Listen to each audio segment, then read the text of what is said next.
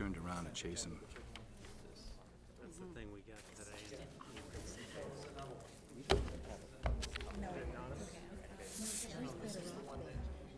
The Linda Center?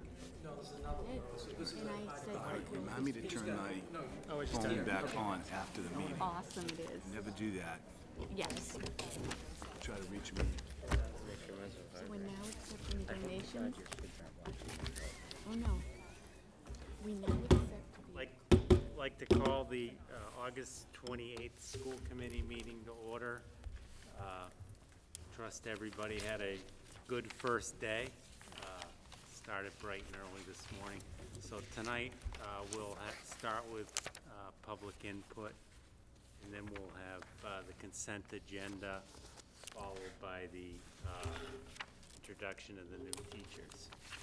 Is there anything, any public input for anything that's not on the agenda tonight? Seeing none, do I have a motion for the, Move to approve. hold on, Oh, is you have to, if anyone wants anything off the consent oh, agenda. um, I'd like to see if anyone on the board wants anything removed from the consent agenda. Yeah, I'd like to remove the five thousand dollar anonymous donation from the consent agenda for separate discussion. For PD.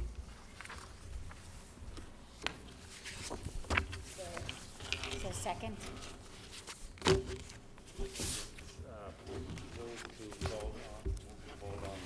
consent agenda as amended. with the anonymous donation for five thousand to be used to support professional development removed from the consent agenda. All those in favor?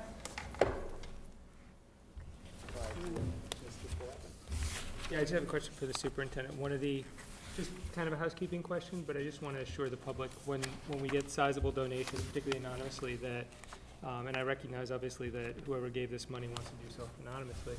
I, what assurances can you give us and the public that, that this donation doesn't come with any strings attached, doesn't present any, present any potential conflict of interest for the district in accepting this, this amount of money for professional development? The donation has to be used for professional development. So it goes into the district gift account. When a school committee accepts a donation, um, for an amount of money that's sort of good of the district, um, like this, uh, it goes into the district gift account and it's earmarked for the purpose. So when we have professional development activities during the year, this is what the funding would be used for. Did it, I noticed that it didn't appear to come with a, a separate letter. Usually these gifts come with some kind of a separate letter. Not the anonymous ones, no. And were there any requirements attached to the spending of that money by you or the district? No, it's for professional development. However you see fit in your Correct. capacity as superintendent, no requirements that it be for one thing or another, just Correct. here's the money, spend it within professional development as you think best. Yes, I mean, we'll be using it to move forward our district improvement plan. That's the goal, that's the goal of it. All right, so I just wanted to have people understand that, so, thank you, I don't have any further questions. So I think it would be good for us to um, approve this item. If we can accept the anonymous donation of five thousand dollars to be used to support professional development as directed by Superintendent Doherty. Is there a second? Second. I'll second. All those in favor? Five zero. Dr. Doherty, uh, one of our favorite nights of the year. Yes, it is. Uh, Yes, uh, so I would um, uh, like to welcome everyone. Uh, This, we've had an exciting day, um, first day back for teachers. We started off with an opening session uh, with the entire district, all staff. Um, And then uh, teachers and other staff, they went back to uh, their buildings after a couple meetings. And um, then we're working with the building principals and other staff in their buildings for the rest of the day. Um, They'll be doing similar things tomorrow, um, getting ready for the first day of school on Wednesday. Um, Last week, all of the people that you see here, and maybe a couple more, were part of the induction program for new teachers. There is an agenda that I believe is in your packet, yes, it is, um, for our educator induction program. You can see the agenda there. Those are the types of activities that our new teachers um, went through last uh, week. Um, Really trying to give them a flavor of the Reading Public Schools, what the Reading Public Schools stands for, what it's all about. Um, Also went over some of the, more of the legal things and, and other areas that, that we need to uh, discuss with, with teachers in general, but with new teachers as well. I had the opportunity, uh, along with the Reading Police Department, to do the ALICE training with the new teachers and to go over educator evaluation. Um, And I know that Craig and Carolyn as well did sessions um, in different areas, as you can see in the agenda.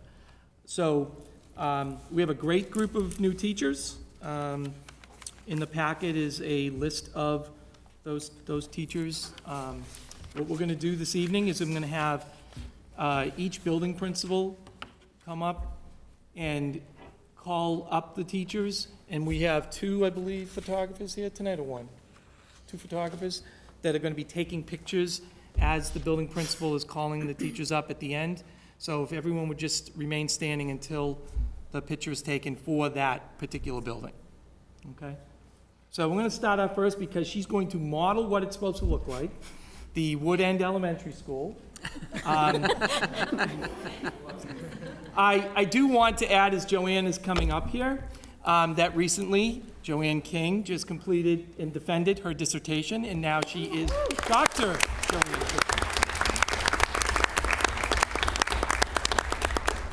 And that's why she's going first tonight. It's not because we're W and we're always last. It has nothing to do with it. So at this time, I'd like to introduce the amazing um, new staff at Wood End Elementary School. So Lori Abelson, Jessica Talbot, Gabriella Massey, and Catherine Horan. If you guys come up here, ladies, and take a seat, kind of stand around. First two have to sit. No, no, they don't have to, sit. no, we don't want to sit. Stand. But do like a family photo. Perfect. So let me introduce our amazing staff. So thank you for having us tonight. We're very excited to be here, very excited to have completed our first day together. So I'm going to start with um, Gabriella Massey, who is our new special education teacher in our learning center. She um, completed her bachelor's in early childhood from Endicott and then her master's in special education at Merrimack. She also did her student teaching at Killam. So we're very excited to have her, um, after spending a year in Haverhill, welcome her back to Reading and have her in our learning center. So welcome to Gabby. Next, we have Catherine Hurin, who, um, she's actually been a paraeducator at Wood End since 2011, I think. Um, and she completed her master's in special education through Lesley um, just this past spring, did her student teaching, so we're very excited to have her join the special education team as our, um, one of our Crossroads teachers in our Crossroads program, so welcome to Catherine. Then we have um, Lori Abelson, who is our new reading specialist. Um, very excited to have Lori. She completed her bachelor's at UMass Amherst and then her master's program um, at Simmons and then completed her reading specialist certification at Salem State. She's coming to us um, after 15 years in Brockton. She was actually commuting this past year from Nashua to Brockton. She's since moved to Nashua, so we were lucky enough to have her join the Wood End team as our reading specialist. And also from Brockton, I know they're very sad today that we've taken two of their best teachers, but we have Jessica Talbot, who's joining us um, as our grade three classroom teacher. She completed her bachelor's and her master's at Stonehill, and then just completed, um, and she majored, double major, elementary education and Spanish. And she worked in Brockton as a grade three teacher for four years, and she just completed her master's um, as a reading specialist. Um, so she is also joining us as a grade three classroom teacher, so I'd like to welcome.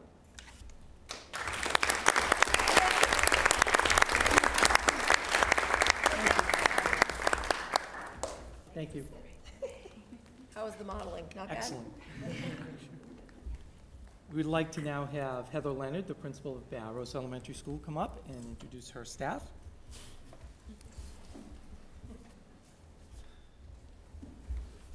Good evening, Dr. Doherty, Chair Robinson, School Committee. Thank you for having us here this evening. It was not that long ago that we were here celebrating some of our milestones of our staff, so it's exciting to be welcoming our newest staff members, and I look forward to that, that day where we can be celebrating those milestones with them as well. Um, I'm honored to be able to introduce the new members of our Barrows Elementary School staff. Um, First is Victoria Penna. Victoria Penna has actually been at Barrows for three years. She was hired as a general education tutor, supporting our students. Did a phenomenal job and actually was um, in the position of a long-term substitute for first grade for a couple of years and has now joined our staff as a teacher in our second grade classroom. And Victoria's actually in the process of getting her master's degree, so she's bringing all sorts of great new knowledge and research to our building, so we love to have her here for that. Um, next is Randy Dittman. Randy is joining us as a special education teacher in our Learning Center. Uh, Randy has a new four-month-old, right? Five-month-old. Five-month-old uh, at home, and Randy is joining us. He is a veteran, and after his service, he went back and he's got his degree in special education. And after some uh, student teaching and some long-term substitutes, we're excited to have him here and joining us, supporting primarily our second and third grade students in special ed. We have Joan Duffy next. Uh, Joan has been in education for over 20 years with a great deal of experience in kindergarten through fifth grade special education, and she has a particular depth of knowledge in the area of supporting reading and reading disabilities. Uh, and Joan has two, we said we were sharing our little ones, and so she has two grown little ones, we'll say. Um, but we're really excited to have Joan join the staff and bring her depth of experience and knowledge to Barrows. So welcome, Joan. And she'll be working in our Learning Center supporting primarily our kindergarten and first grade special education needs. And finally, uh, we have Katie Jones. Katie's actually joining us from California, and she asked me on Friday, she said, so you don't do earthquake drills? And we said, no. but we did discuss the need for practicing driving in the snow, so we're trading one for the other. Um, so Katie's coming to us from the West Coast, where she has experience as a special, um, as a science and technology educator, and also as a fifth grade classroom teacher, which works out beautifully as she'll be our science teacher and our fifth grade team joining and supporting in the general education classroom setting. Uh, she also moved from the West Coast with her two littles at home, so we have a wonderful growing family at Barrows, and we're really glad to welcome them. So thank you all for being here.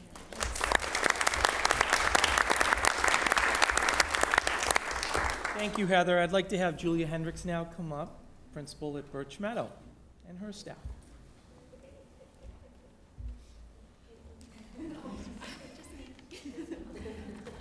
Good evening, everybody. Thank you so much for having us here tonight. We have one new teacher at Birch Meadow this year. Caitlin Coy has joined us as a fifth grade teacher. She has a undergraduate and master's degree in education from the University of New Hampshire. Spent a year teaching in Bangkok, Thailand, and has worked both as a paraeducator and a long-term substitute in the Tewksbury Public Schools before joining us at Birch, and we are really happy to have her. Thank you.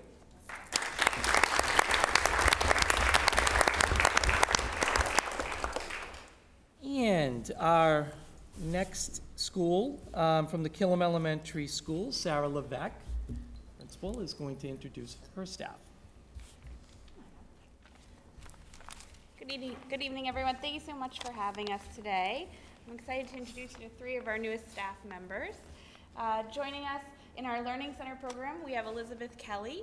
Um, she is coming from a um, integrated third grade classroom in Haverhill, so we're excited to have her join us and bring that um, aspect, understanding both the special education side as well as the general education side and helping us grow in our expertise in that area. So we're excited to welcome her this year. We also have Stacy Burke, who is going to be joining us as a teacher in our therapeutic support program. Um, when I met Stacy, she said, these are my kids, I get them, I know them, and we said, all right, come and join us. So Stacy's joining us in that program. She comes to us from um, work both in Michigan as well as in the Salem Public Schools. Uh, she was in Michigan the last few years, so we're excited to invite her back to Massachusetts and have her come back home and meet everyone here. And we have Kamika Reese, who's joining us as a fourth grade teacher. Kamika was in Missouri as a STEAM teacher, teaching K to 8, so we're excited to tap into that knowledge and um, understand more of the science and engineering in an elementary program.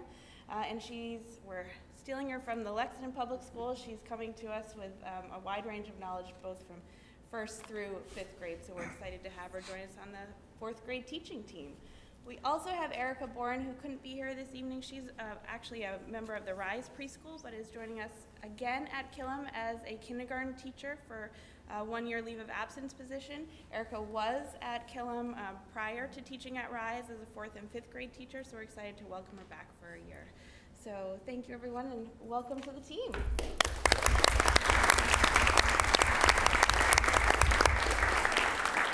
Thank you, Sarah. And our final elementary school, uh, I introduced to you uh, Lisa Marie in July, so Lisa Marie Ippolito, um, our newest principal at the um, Joshua Eaton, and she's going to introduce her staff. Have my staff come on up and join me. Uh, Thank you for having us this evening. I just want to say it's my first day on the official job. Um, Was wonderful. I have a wonderful staff and um, some great additions to that staff. So I'd like to introduce you to Pam um, Doyle. And Pam is our new Learning Center teacher. Uh, She received her master's degree from American International College in the area of reading. Uh, She received her undergraduate degree from the University of Massachusetts in elementary education with a minor in psychology. And she's also Orton Gillingham trained, and um, Wilson um, has used Wilson reading before. So welcome, Pam. And then we have Michelle Lipkin. She's our new school psychologist. And I said to her earlier today, I feel like she's been here forever because we hired her back in June, and she's been around so much to uh, learn about our students. So Michelle is a graduate of Northeastern University with a master's in school psychology. She also has been work, she also worked at McLean Hospital in a bio um, psychiatry department, and she's also very well versed in supporting students um, for their social and emotional needs. We welcome Michelle. And then I'd like to introduce you to Donald DJ Cook. He's our new third grade teacher at Joshua Eaton. Donald is a graduate of Merrimack College. Um, he has a bachelor's degree in science and child um, and family and community studies. So welcome to Donald. And then last but finally not least is Phyllis Green. Um, Phyllis and I actually go back a little bit. Um, she uh, worked in Wilmington Public Schools and um, has an excellent reputation as a special education teacher. She's our new um, language-based teacher as part of the Bridge program. And uh, she has a master's degree in special education, a, a bachelor's degree in psychology and cognitive development, as well as her Wilson reading certification. So welcome to Joshua Eaton, and thank you for having us.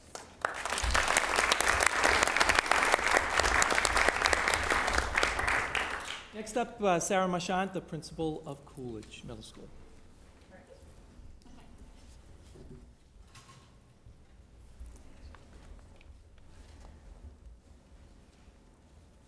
Good evening, and thank you so much for having us tonight. Um, I'm thrilled to be here with these four wonderful women who will be joining the Coolidge staff this year. I'd like to start by introducing Amy Beth Gallino, who is joining us, and I'm so excited to have her. She- She'll be teaching French on our French team, and um, she completed her master's degree two years ago at Fitchburg State University with a degree in curriculum and teaching.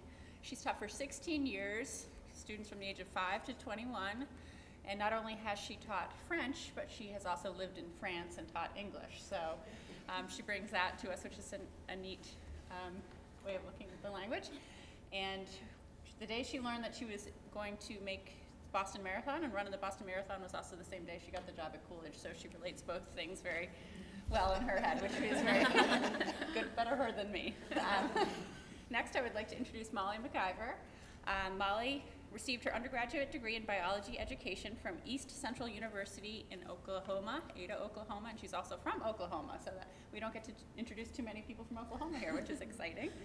Um, she taught one year at a private school in Oklahoma and then moved to Cumberland, Rhode Island, where she taught for two years, eighth grade science, and is now going to be teaching sixth grade science at Coolidge. So, welcome to Molly. And her, I like adding a personal fact. She loves to play volleyball, played competitively for 15 years, and still enjoys playing on teams as well. Next, we have Selma Walsh, who will also be teaching sixth grade science. She earned her master's degree in education from Lesley University, and prior to that, her bachelor's degree in therapeutic recreation from Slippery Rock University in Pennsylvania. She was a science integration specialist in Salem, Massachusetts at Witchcraft Heights Elementary School for eight years. Um, she currently resides in Boxford, and over the years, this is pretty neat, she's volunteered to teach science at the Museum of Science, as well as the Beverly School for the Deaf and Perkins School for the Blind. So really a lot of diversity in her teaching, and we welcome Selma as well. And lastly, but not least, we have Rachel Herman, our school psychologist, who has just received her master's of school psychology from UMass Boston. She did her internship in Brookline in Boston, and we're excited that she's starting her career off with us at Coolidge. And um, she's from Miami, Florida, so has that lucky opportunity to get back to the warm in the winter. And um, in her free time loves to dance and to spend time outdoors. And I did want to speak on behalf of my new assistant principal, Brienne Caro, who would have loved to be here tonight and had a prior commitment and really wanted me to say that she can't wait to meet all of you and to be here at a future opportunity. Um, she's joining us from Wilmington, where she's been a reading specialist for nine years, and she has her degree in literacy, special education, and um, elementary education. And she went to Syracuse University for her degrees, both her um, undergraduate and her master's. And she's also been a varsity basketball and track coach at Wilmington, and even has threatened to come back to your next meeting to introduce herself. So you will see her soon enough. But um, it's a pleasure. We're excited to have all of our new staff, and thank you for the opportunity tonight.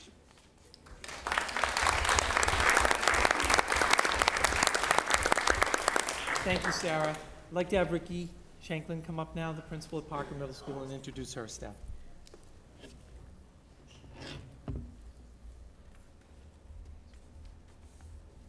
Thank you for this opportunity to brag about our new staff. Um, we had a we had a great day today. Nice, um, probably long day for these guys, taking a lot of information in. But since we've hired them, they've all been in and out of the school and familiar. So um, today's just another day for them, probably. Um, so I'll start off with um, Rachel Weeks. She's our new special education math teacher. She um, received her master's in special education at Merrimack College and her undergraduate degree in mathematics from UMass Amherst. She'll be co-teaching grade eight math and teaching grades six and seven math classes as well. And she's an avid baker and a cook. Um, Kathleen Schmalsky, she's um, otherwise known as Kate. She um, resides in Reading, and she is our new school nurse. She received her nursing degree from UMass Amherst and has been a substitute nurse for Reading Public Schools for over six years. Um, and which is comforting. She knows a lot of the families, and I know that um, some of the families that she's already been reaching out to feel also feel comforted that she's she knows the system and and already knows some of our kids. Um, she's most recently been working as an RN at both Winchester and Newton Wellesley hospitals in maternal child care. Um, so welcome. Rach, um, sorry, Lisa Jobs. She's our new grade eight French and Spanish teacher.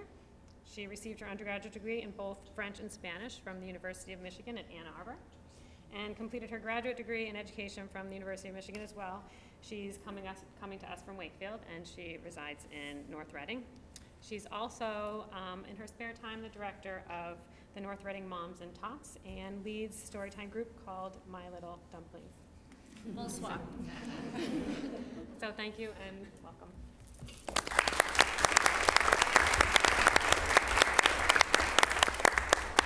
Thank you. Um, Adam Bacher, principal of the high school, is now going to introduce his staff.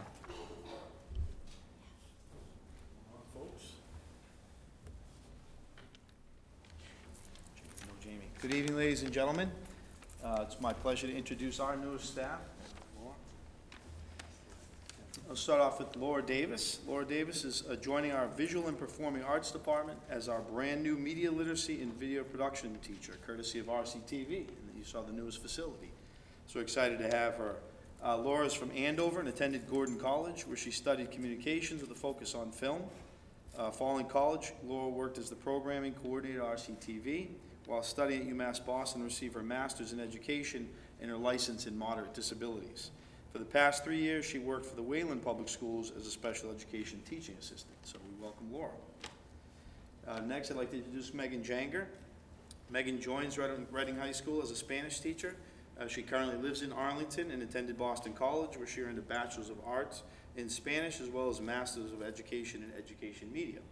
Megan brings nearly 20 years of experience as a Spanish teacher, including advanced placement Spanish, and she worked previously at Whitman Hanson Regional High School, as well as Swampscott and uh, Marist School in Atlanta, Georgia.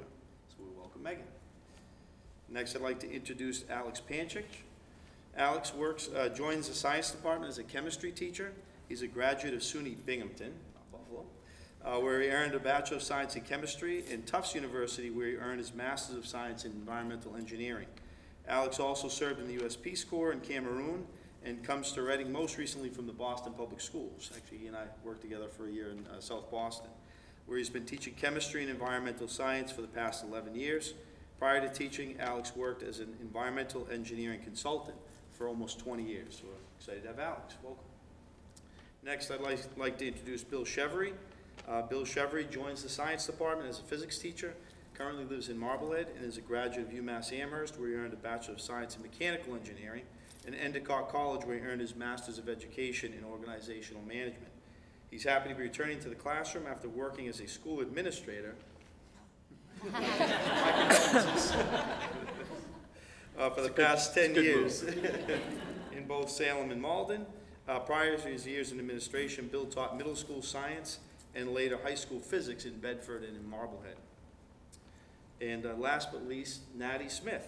I'd like to welcome him to, is joining the English department at the high school. Natty's a resident of Cambridge and holds a Bachelor of Arts uh, from Middlebury College and a Master's of Arts degree from, uh, excuse me, a Bachelor of Arts from Middlebury and a Master's from Tufts. Over the past four years, he has taught in both Somerville and Salem High School, working with freshmen to strengthen their writing and reading skills, and was also the advisor, advisor to the Creative Writing Club. On a personal note, I'd like to congratulate Natty, uh, who was just becoming newlywed this past weekend.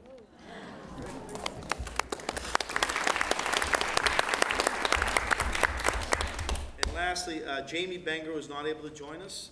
She's joining our Special Education Department and Learning Center and will also provide literacy instruction for some of our most struggling students.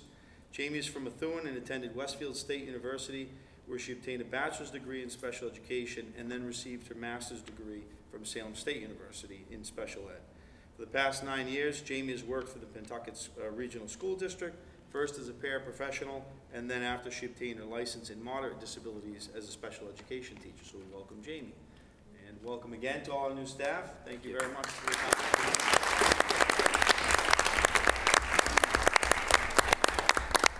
Thank you, Adam. I'm going to have Carolyn Wilson now introduce our two newest special education. Kelly's going to then, Oh, after. yeah, yeah. Okay. All right, I'm gonna have Kelly and Melissa join me. Um, So Kelly Roswick is joining us as our new RISE preschool director. Many of you know her from her time as a team chair. She, she had a tenure of four years as a team chair. I think she's been at almost every elementary school in Reading. Um, Kelly is, has her bachelor's from Kent State University. She has a master's in school administration from American International College. She taught special education for 13 years prior to becoming a um, team chair, and we welcome her as the RISE preschool director. And Melissa Forbes, she has 14 years of experience working um, in special education in the Newton Public Schools. She's joining us as the team chair for the high school. She'll be paired with Adam Blaustein for our two team chair positions. Melissa has her bachelor's from Quinnipiac College. She also has two masters, one in education from Cambridge College and a second master's in educational leadership from Endicott. And we're excited to have Melissa join us at the high school.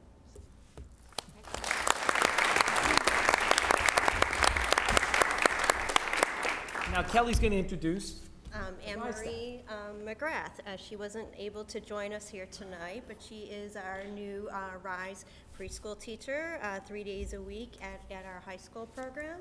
She has a bachelor's degree from the University of New Hampshire, a master's degree in the uh, UMass Boston. She um, has 25 years of teaching experience. Her last uh, experiences were, um, she was an assistant director of preschool for the Tall, Tall Spire Nursery School, and she worked in the Wakefield Integrated Preschool.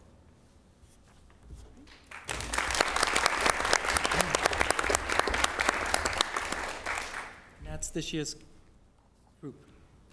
Well, wel- Welcome, another round of applause. and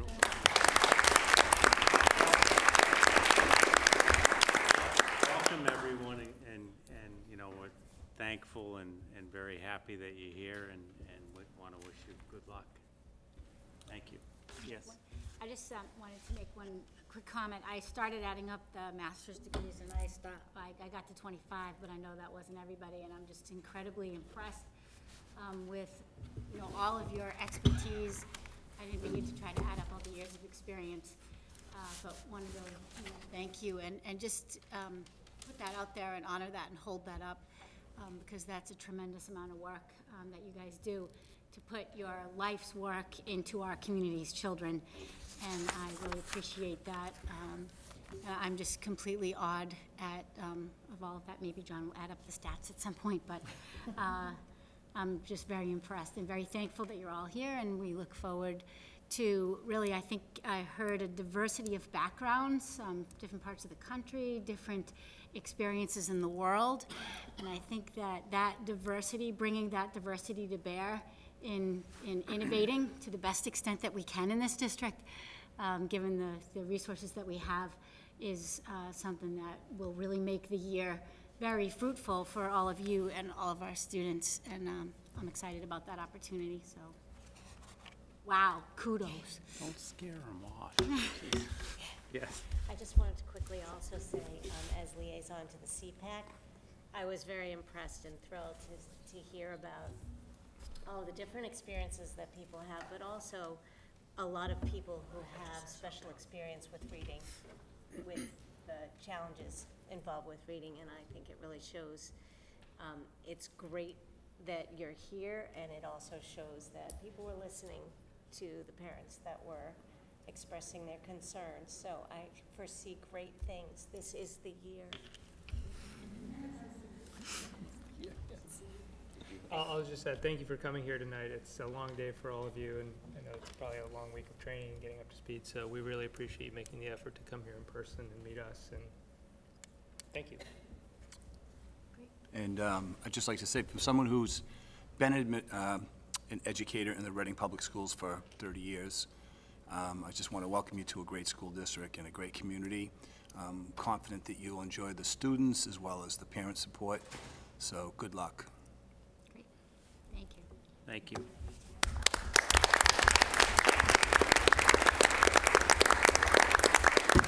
Take a two-minute uh, recess. Stay all night?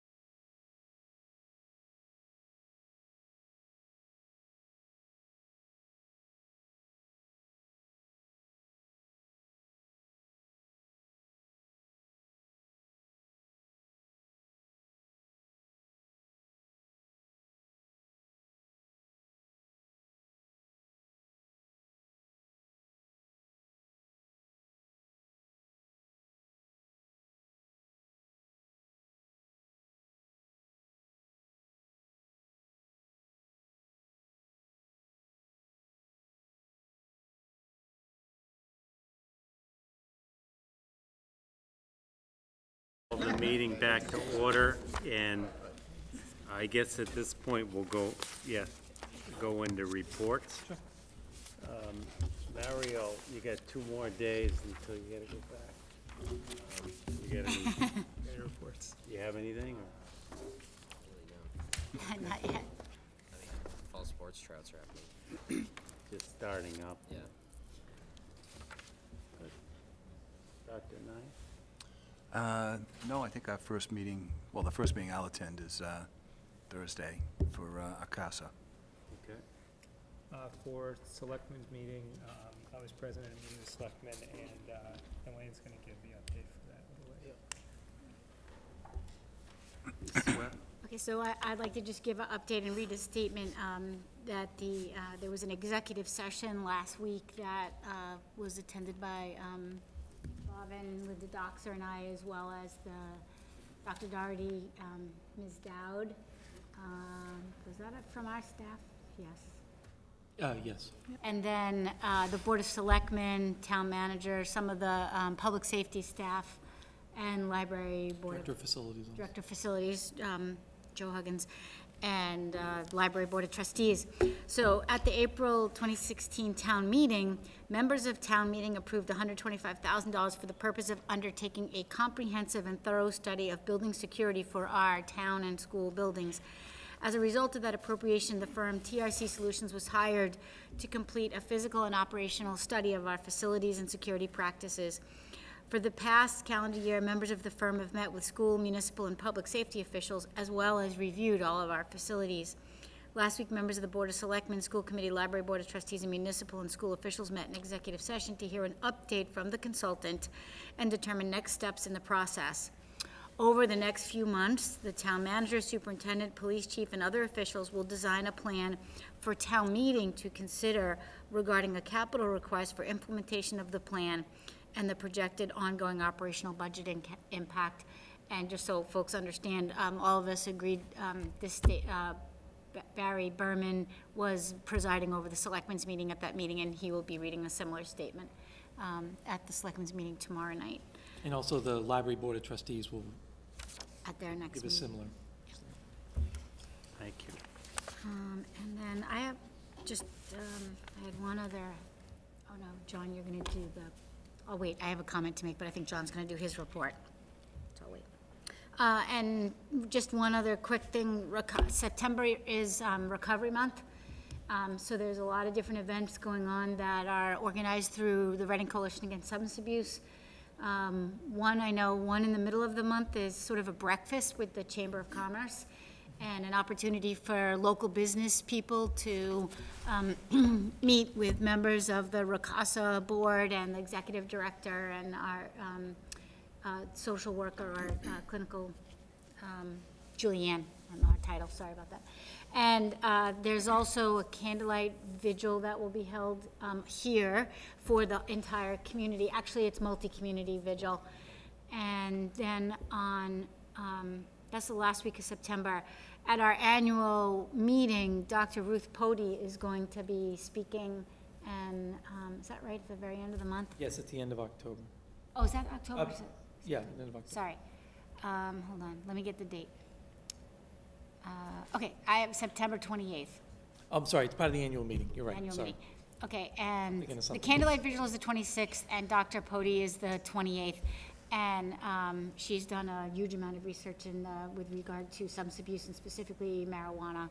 Um, and, um, anyway, I think she's, um, renowned. I hope we get a great turnout for, for that, um, presentation. So I think that's it for, for CASA. Dr. Dox? Um, I have a couple of reports. I'm going to give just a brief for the um, CPAC, Special Education Parent Advisory Committee, and I know that um, Mrs. Wilson will continue that. One, um, just to be aware and look for a flyer that will um, tell people about the CPAC and invite everyone to um, participate. And then also, they are still looking for an education, sorry, an election coordinator, and that is a very short-term um, position with not a ton of homework or anything else. But it's necessary in order to conduct the elections for the board. So if you're interested in a little role that's very important with not a lot of work, please think about um, volunteering for that. Um, Okay, the Human Relations Advisory Committee, our next meeting is September 7th. We've been working on, over the summer, we've been working on the restructuring of our committee. We're going to have a booth at the town fair. Please come see us. We're also going to be hosting the um, town response committee. There's going to be a name for that, but stay tuned. Um, And I just heard that the Board of Selectmen will be considering the sunsetting of our committee on Tuesday night at 9:45, and the- they're considering um, giving it an extension until December 1st. Um, So that's that. And I just wanted to thank everybody who supported and came to the Reading Friends of Metco barbecue and pool party. Mm-hmm. The PTOs paid for the food this time, this year, and we had over 150 people come. Thank you to all of the staff that came, all of the families that came. If you weren't able to come, it's completely understandable, it's in the middle of the summer. Um, But we are going to have another event towards Boston on October 28th. So stay tuned for information about that. It would be wonderful to have you involved. There are, um, there's lots of scheming going on. Also, we'll be announcing the, um, the Friends of Metco um, chorus for the Martin Luther King Day celebration. So if your children are interested in that, stay tuned. We'd love to have them. And um, that, I think, is it for me. This is the year. I love that. Thank you. Thank you. So I'm gonna, we're gonna do a combined report this evening, um, really summarizing what has been going on this summer. Um, It's actually, it's been 71 days from the last day of school until this week. Who's counting? Um, But a lot has been going on during those 71 days, and there were, there were, there's two things going on, and two types of things going on. One is things that need to happen during the summer, but then things are planning for what's going to be happening this year. And there's been a lot of both happening. Um, So what I want to talk about first is I want to address the swastika issues that um, I did report out in July, but I want to talk about some of the things that we've been doing um, behind the scenes as a school district um, to address that unfortunate, those series of unfortunate situations. Um, Craig is, and Carolyn are going to talk about learning and teaching and student services. Um, I want to give an update on our, all of our capital projects and summer work that's been done in our buildings, um, and including our technology summer work. And then I want to give you a brief update on what's been going on with the FY eighteen budget and some of the adjustments that we've had to make. So, first I want to talk about um, the swastika incidents. So if you remember, um, and we've, we've brought this up several times at, at meetings and uh, have had statements go out uh, regarding the different issues. We've had some issues in um, April and May. We also most recently had uh, a uh, graffiti, swastika graffiti, um, la- a week ago Monday, um, on the fence up here on, on Oakland Road. Uh, It was reported by a community member over the weekend. Um, Police investigated it on uh, Monday morning, um, and then we were notified right after that, that, and we sent something out to the community um, by, by mid-afternoon. These, uh, this incident is still under investigation. We did receive um, uh, some, uh, some questions from the media uh, on Friday afternoon. Uh, They had picked it up uh, on the patch, and so uh, the Boston Globe, Channel 4, and Channel 10 um, did call me and ask me a series of questions. The Boston Globe and Channel 4 uh, did it by telephone. Channel 10 actually came out on site and did an interview. Uh, The Boston Globe article you have in front of you, um, that was uh, published on Saturday, um, both online and in the uh, paper version of, of the paper. Um, So, prior to Monday's incident, uh, there's been a lot been going on behind the scenes. And one of the things that I wanted to learn more about is how can we respond better as a school district to these um, acts, acts of hate, is really what it comes down to. So I met with Rabbi Susan Abramson. Some of this is going to be repetitive, but I, now I think that we're back in the swing of things and there's probably more people watching um, rather than what we were talking, you know, during the summer. I, that's why I'm going to repeat some of the things that, that I've talked about in other meetings. I met with Rabbi Susan Abramson in, uh, right after school ended. Actually, it was before school ended, um, in June, to talk about uh, the response that she had uh, when this similar incidents were happening in Bedford um, four years ago.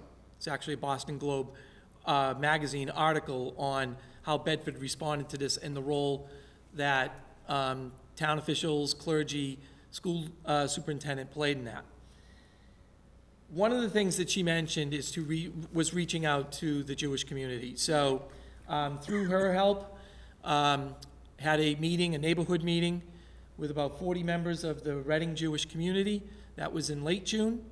Uh, we felt it was important to have that meeting prior to uh, the summer um, so that we could communicate to members of the community uh, what was going on, updates that we may have, and how we're addressing it.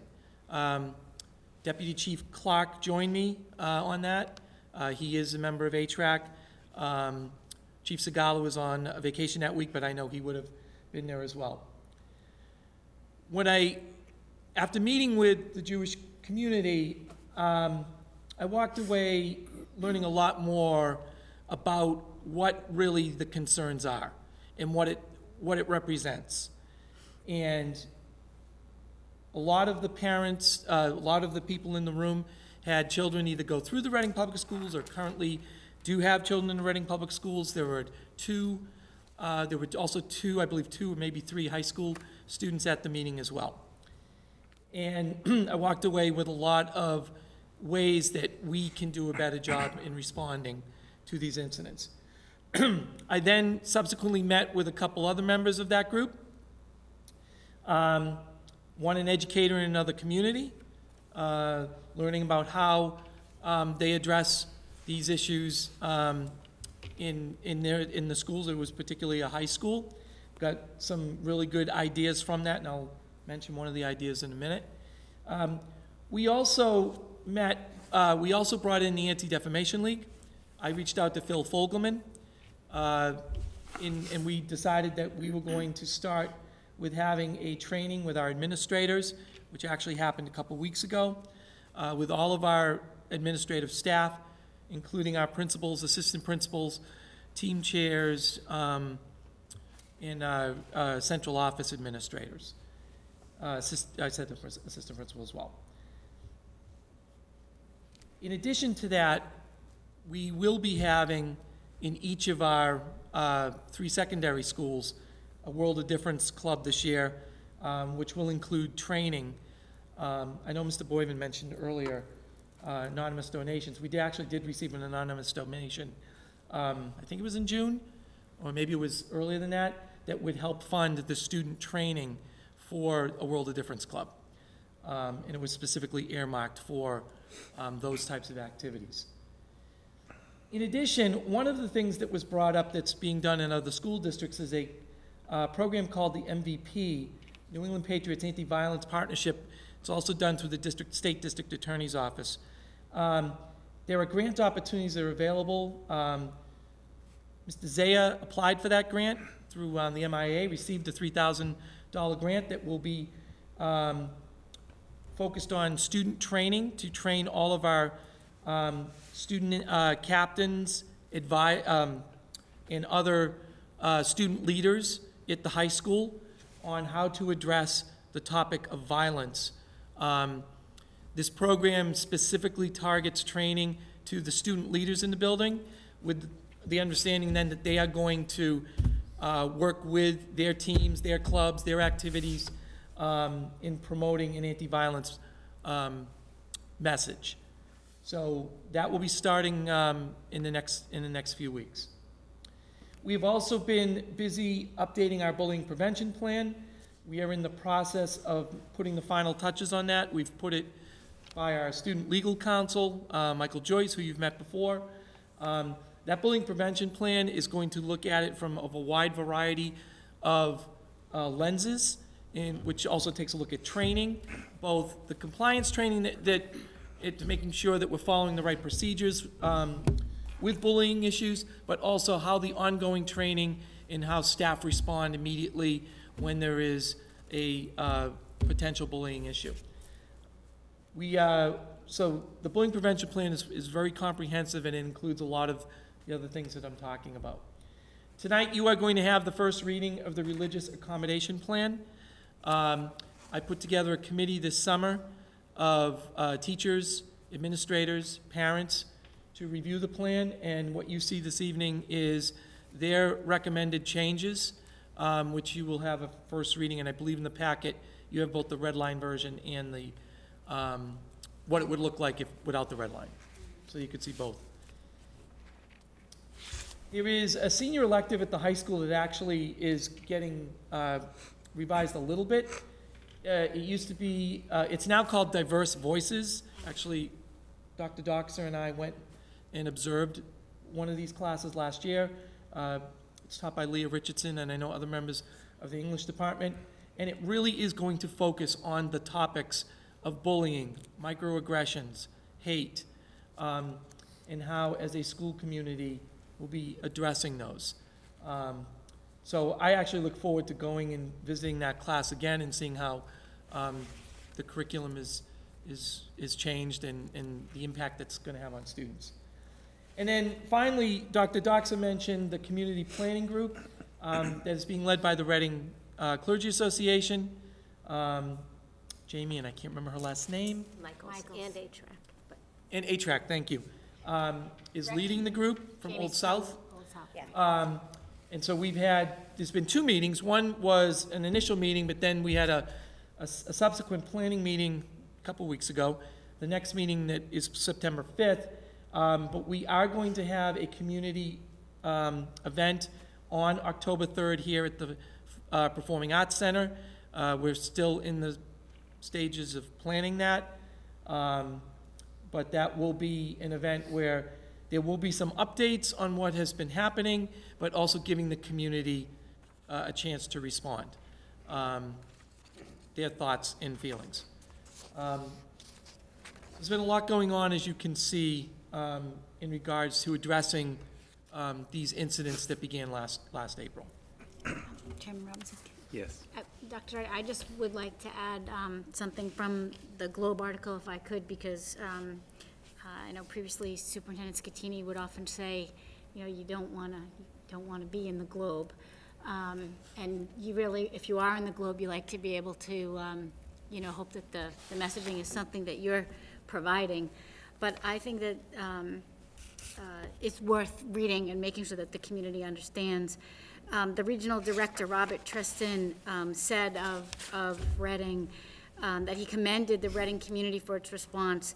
It's, it was hard to determine whether, in this last case, whether um, the word "no" came before or after, but in his comment, the positive thing comes out of it, pos- the positive thing that comes out of it regardless is that somebody saw it, somebody reported it, and the school is being transparent, supportive, and responsible. Um, If you look at the incidents, this is also his perspective, his quote, if you look at the incidents that were reported in the spring and this last one, this weekend, this is a committed community, that is a united community, and we should be applauding them for their commitment in dealing with these issues. In this, he said, in this case, this community is an example for others, and I really want to recognize Dr. Doherty for his incredible leadership with that, and for, um, you know, really, and I think the quote was in there that we're gonna meet that head on, there's just no place for that kind of hate. And I think, most importantly, when you, you know, just hear your update, it's a very well thought out, um, very well-designed approach with many different prongs to it that um, involve the students, the community, our clergy experts, um, past history of, you know, other communities.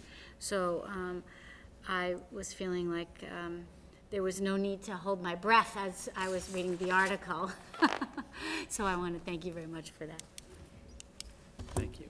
Yes. I also wanted to say that um, I'm very excited that the MVP program will be coming here. There are a number of students from our schools and staff who have experienced a conference called Cou- Courage to Care at the Lincoln Sudbury High School. And um, it was a very exciting experience to talk to I was able to go, to be able to talk to the teachers there and how enthusiastic they were, and to watch the students, because the students ran the training for the adults.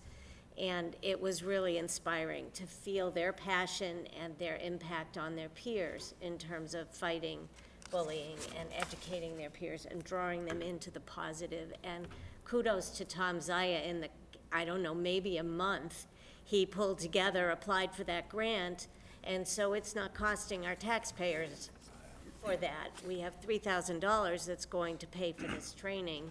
Um, and that's what I've seen happen, and a lot, a lot of time, I know from personal experience, it is through anonymous grants as well, anonymous donations. Um, and I'm very grateful I didn't have a chance to say it after the, um, the agenda at the beginning, but to all of the people that have contributed, donated, supported the schools. It's, this community is amazing, and I'm really proud of it and proud that the Globe captured it. So thank you for everybody's support for these things. Thank you. Want to Continue? Yes. Okay. So now we're going to talk about learning and teaching updates, and I'm going to turn this part over to Craig. So I thought I would begin, first of all, by talking a little bit about uh, what we've been doing with our science curriculum. Um, One of the first things that we do when the school year ends is actually wrap up the fiscal year, because that doesn't end until the end of June.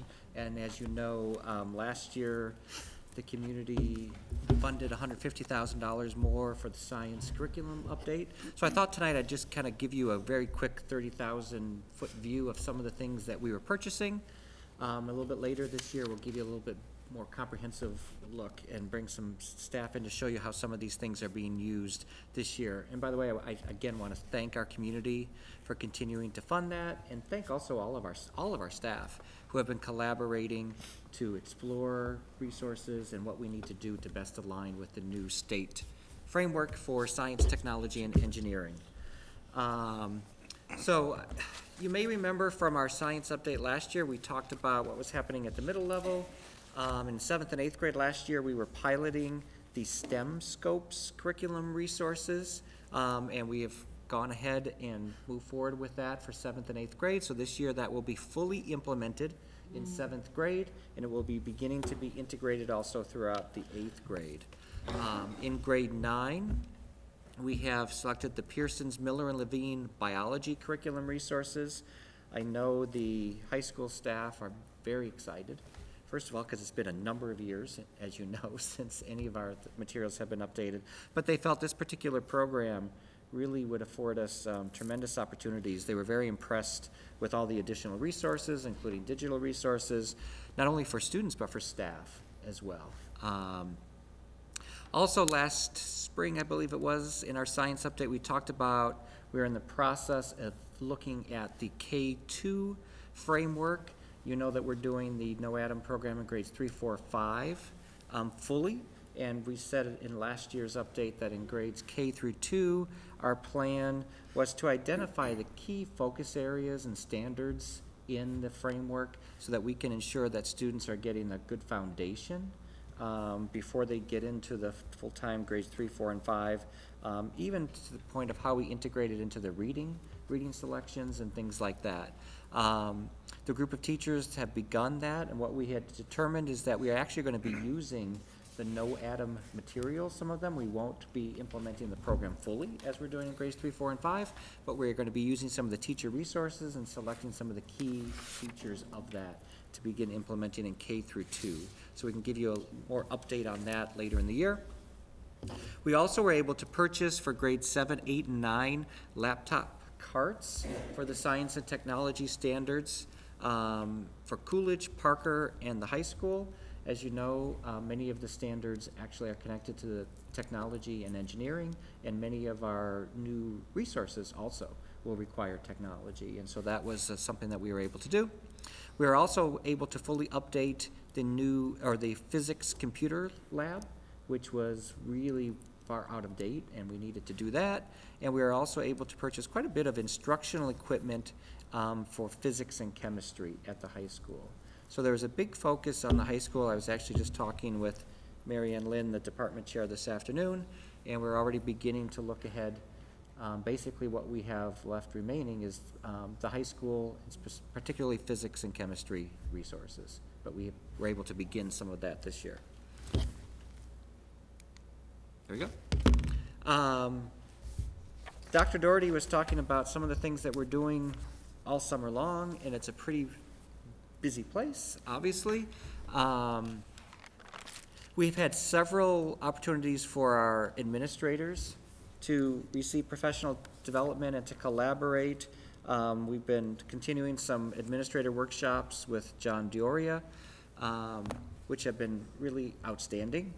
Um, Mr. Dior- D'Auria talks about what he calls the fractal nature of education, which is essentially how important it is for all leaders in a school district to really be modeling the types of interactions, the learning that we need to happen, the fractal nature meaning, you know, um, each sense part of the community mirrors each other.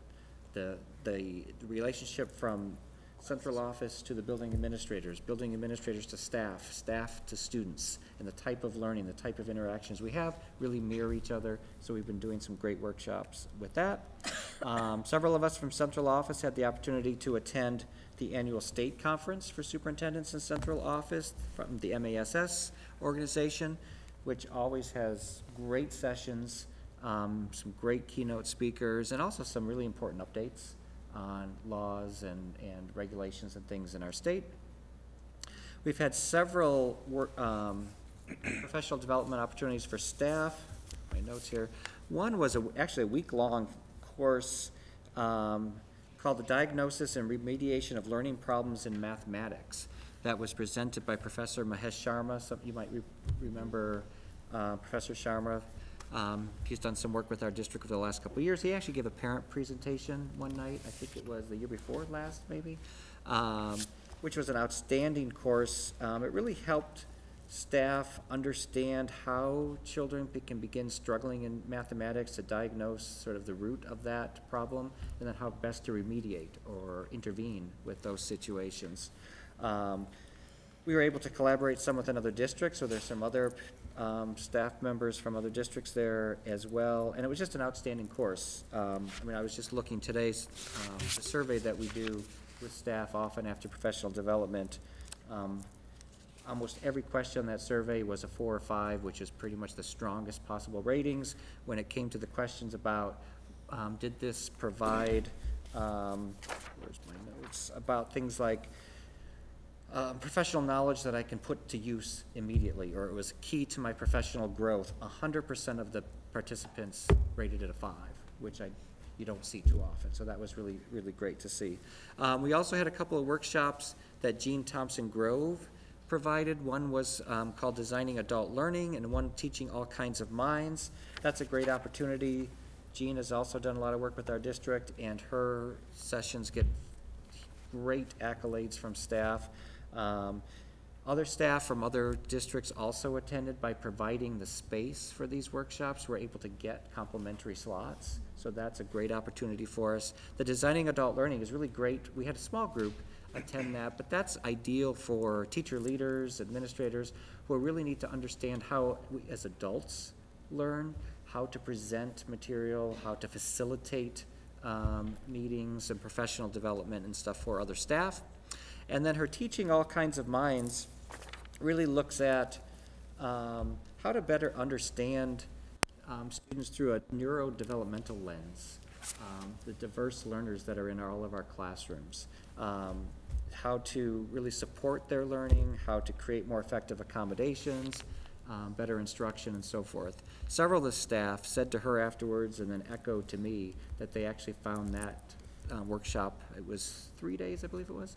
Um, They said their word was transformational, that the way that they see their work with their students is forever changed. I mean, it really is a powerful workshop, so we're looking forward to doing more of that. Dr. Doherty already mentioned the Anti-Defamation League training, which we thought was outstanding, and we, we, our hope is to continue more of that with even more staff, but our entire administrative team was part of that. Um, he also mentioned the new staff induction, and you looked at the agenda. You know, one of the things that's very heartening for me with that is that not only the substance of the topics, but several of the staff members that were here earlier this evening came up to me afterwards and said such positive things about how, what it reflects about our district. Um, for them to say that out loud, they didn't have to say that, you know, to say, wow, you know, I'm really proud to be a part of a district. We can tell through the topics that you're focusing on what the values are of this district, and I feel like I made a good choice. You know, so that was, that's really nice to hear. Um, that included, incorporated in that is the youth mental health first aid training that we've been doing with all of our staff and members of the community. I mean, it's hundreds of people now. I forget how many people we've had. Oh, it's close to a thousand Yeah, now. thousand people. Um, and they loved that day. I mean, again, for, um, that has consistently gotten high marks from staff. Um, and then I also want to say our extended day, you know, sometimes our community education and extended day staff, sometimes we don't include them, but I mean, that program has grown, as you know. We have um, hundreds and hundreds of students in that. They now have fifty-nine staff in all the schools, so they did a number of trainings, including de-escalation, restraint training, first aid, CPR, and extended day orientation. So that was about four, five, six days of training throughout the summer for all of their staff, so that they're fully prepared. Um, matter of fact, tonight, and they were also preparing their parent welcome night, which I think is tonight. Yes, it is. Yes. So they're in another location, um, doing that tonight. And then that last bullet also is actually through, um, Sandy Galandrella and our community ed. We're planning the parent university for October. I should have put the date on there. I think it's October October 21st. twenty-first, Yep, Saturday. it's a Saturday. Um, and so we're planning some great sessions for that and exploring keynote speakers. I think we've got a great one for that. But that was just sort of to remind me of not only just the PD and all of the work that we're doing, but all the administrators, leaders, directors, really preparing all the things for the year ahead. Um, things for the calendar, the hirings, the grant applications, the scheduling. It's a tremendous amount of work that people are working on all summer long. So in terms of the Student Services Office, a lot of the professional development overlapped with the work that Mr. Martin shared. One of the other bullets up there is that we did offer Lively Letters, which is another specialized reading program for some of our special education teachers. Um, but really, Mr. Martin and I work very closely around professional development, and that was actually a project we're working on this year, is really aligning the calendar and the offerings that we have so that there's not as much overlap, because it is taxing on our principals to find sub-coverage, and so we've really done a lot of coordination on that. Additionally, a big piece of the summer, as you all know, is in um, special education, we offer extended school year programming for those students who are at risk for substantial regression. So Kelly Decato and Karen Rander were the co-coordinators of the programs, and I have to applaud them because they did some amazing work this summer. We had roughly 260 students, pre-K to post-grad, who were recommended for summer services. Uh, the elementary program was located at Birch Meadow, which really um, allowed for a large number of our students to be in their home schools. So as you know, Birch Meadow houses our Connections and Compass programs, and so to house the extended school year program there allowed those students to be in their home school. Um, our TSP program, our therapeutic support program across all levels was very successful. Um, we had some students who have had a lot of difficulty getting into school during the school year, and we were able to have them participate regularly during the summer, which is very exciting, and it's momentum that we can build upon for the school year. And thankfully, a lot of the staff who do work in the summer are the staff that work during the school year, so they have those connections. Um, we did separate out our bridge program services, so in the past, students who were in the bridge program, our language-based learning disability program, received tutoring. We differentiated that this year at all levels, and we feel like that was very successful. Particularly at middle school and high school, we felt it really allowed for some more specialized instruction, and I received some really positive feedback from some families regarding that. Um, the school resource officer visited some of our classrooms this summer, and in addition, um, as you know, we accepted a donation from some of our families um, in the spring, and we were able to offer an art enrichment program through Follow um, through Follow Your Art Studio, and we had over 45 students who participated in this activity. So that was really exciting. Overall, it was a very positive summer. Actually, this morning, as we were having breakfast with some of the staff, a few of the teachers who worked in the program came up to me to say what a great summer it was and how smooth it went. I think it's also important to note that we um, house, with extended day, we house extended day in the special ed program in the same elementary school in order to ensure that if parents need childcare after their child receives tutoring or their special ed program, we can ease that transition. So I think it really helps with participation, it helps with supervision, um, and so overall it was very positive. Um, I do have a couple pictures. So we have a picture of one of our police officers and a picture of the artwork. Um, uh, but again, it was very positive. Um, I think the other piece that I would note, as Mr. Martin um, referenced, that there's a lot of activities happening in the Student Services Office to get ready for the new school year. We continue to have some vacancies. We have a part-time BCBA position that unfortunately we made an offer and someone um, backed out. We have a team chair position that's shared at Birch Meadow and Wood End that we have offered twice now and have not met with success. So um, that's concerning. And we are hoping to have a behavioral health coach um, replacing Sarah Bird's position finalized very soon. Um, all of that has been very, you know, it's a lot of work to go through that interview process and to really vet the candidates to make sure that we have the right people that are going to, you know, meet our needs. Um, in addition, there are a lot of projects and tasks that need to get done. Um, our office goes down to kind of a bare bones, just like all the other schools, but different than the schools, there are a lot of inquiries, there's a lot of activity in special education over the summer, and with no team chairs on staff, a lot of that falls on me to communicate with families, to produce documents, to kind of work on tasks. So that's a lot of the work that's happening in my, my office over the summer. I did have some of our team chairs come in for some additional days to do some work in their buildings, um, or to work on some special projects that really needed to get done to start the school year up and support that. Um, additionally, I had one meeting with the CPAC over the summer, and we've mapped out some meetings which I'm excited about, and I'm going to be sending out notice to our families with these dates already outlined so that families can start to put them on the calendar. We've also included them on the district calendar so we can see that there's not an overlap with other things happening, which um, has been a concern in the past. And I really was trying to emphasize with those families the importance of getting these dates on the calendar early so that we don't have those conflicts and we can really get um, information to families soon. So we are excited. We have two presentations coming up in the fall with the Federation for Children with Special Needs to really help our parents understand their rights in the special education process. We also, I have secured um, Sarah Ward to come out in March. She um, is well known for um, executive functioning, and we think that'll be a big draw. Stoneham Public Schools has agreed to collaborate with us on that.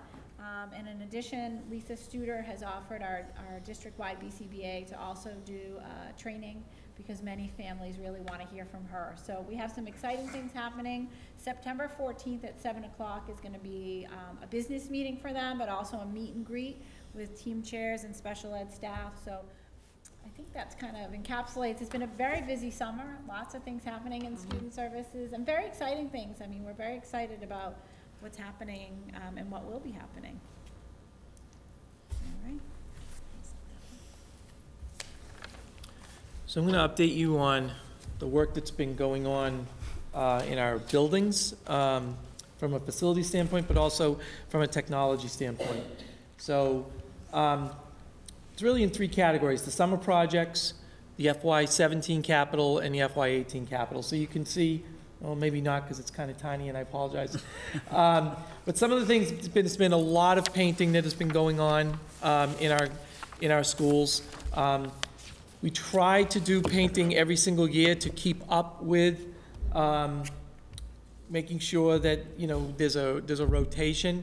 Um, I think you could see, depending on the school, some, and, and really the building principal is um, the one that is leading this in terms of what should get painted. Uh, We did budget a certain amount of painting to be done um, in each of the schools, depending on the, the size of the school. Some, it was classrooms, others, it was hallways, um, and others, it was larger uh, spaces, uh, like a cafeteria. So um, that was one of the major things that was done. Other things that were done, uh, without going into detail on each one, um, in classroom rugs, if you remember, uh, last year, uh, we did have to um, dispose of several uh, rugs that did not, were not fireproof. Um, The fire department said, uh, and a lot of these were rugs that teachers had brought in to make, you know, the classroom um, a lot more accommodating for learners.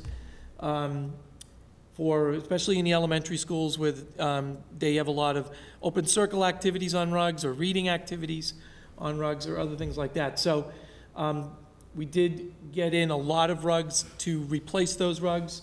Um, The clocks at Coolidge, which are the clocks that have been there since the project, which was in 2001. Um, We, they're in progress, but they should be done in the next couple of days. So all the clocks have been replaced, a lot of them uh, were no longer working. Um, Something that is going to be a savings uh, from a budgetary standpoint is um, changing out all of the dispensers for paper towels and toilet paper. That may seem like, uh, you know, why are you doing that? Uh, Unfortunately, the, the previous dispensers that were in there were proprietary. So you had, we had to purchase a certain type of paper towel and toilet paper, which was much more expensive. Um, By going to a more generic dispenser, we can now go and get a much cheaper um, product uh, for paper towels and toilet paper. So that is something that we, um, the facilities department did this summer to, to change all of those, which will actually lead to a savings in the operational budget. Um, The Eaton attic has been cleaned out. That was a storage area for years of um, discarded furniture, and you did approve that um, in a previous meeting. Um, So that has been all discarded. Uh, Some other things that were done, the um, Lions Den, which is that building that's down near the uh, football field, got a new roof. Um, You did approve this evening. The shingles were donated by Rotary, and the labor was provided by the Facilities Department, so it now has a new roof. Um, There was a lot of concrete work done um, in different areas. You're going to see both um, here at the high school, but also at Parker and it Wood End. It Wood End, the entire front area was replaced. Um, It had been chipping and cracking uh, over the last several years. Um, It does get worn out, a lot of use, um, and it was completely done. Unfortunately, it had to be done a second time. Uh, We did have some problems with it. It was not at our expense, but this weekend, it was finally completed. Um, and It looks, it looks great. So those are, those are some of the things that were happening for summer projects for FY seventeen capital. There was some HVAC work done at uh, Wood End, but at all the schools in terms of the energy management system. Um, There was some flooring done at Eaton. Um, There was a whole section of Eaton where we did tile abatement and put in all new tile. Um, And that was one of the areas that we also got um, uh, painting done this summer. Um, That whole hallway looks beautiful between the tiles, the classrooms that were new tile, and the, the paint work that was done in the, above the lockers. Um, I already mentioned about the concrete work done at Wood End and Parker. And then FY eighteen capital, um, Barrows flooring is in progress, and that will be done during the Christmas break. There was flooring done at Killam and Parker and the high school. So you can see there has been an awful lot of facilities work uh, being done, both inside and outside the building this summer. Um, So you can see that there's a lot been going on this summer. Um, In addition, we have had a lot of technology work getting done this summer. And Craig, Craig mentioned um, that as part of the uh, funding that was approved by town meeting for science, there was uh, technology purchased as part of that. Um, We also had funding in our budget for FY17 for technology purchases. So we upgraded or replaced uh, 540 computers this summer. Um, through our technology department. Um, There's also been a lot of upgrading and replacing of student computers, um, staff computers, actually, that was all part of the, the 540. Um, Upgraded and replaced projectors, 44 of those. Um, We, uh, the, the technology department upgraded over 600 computers to Windows 10.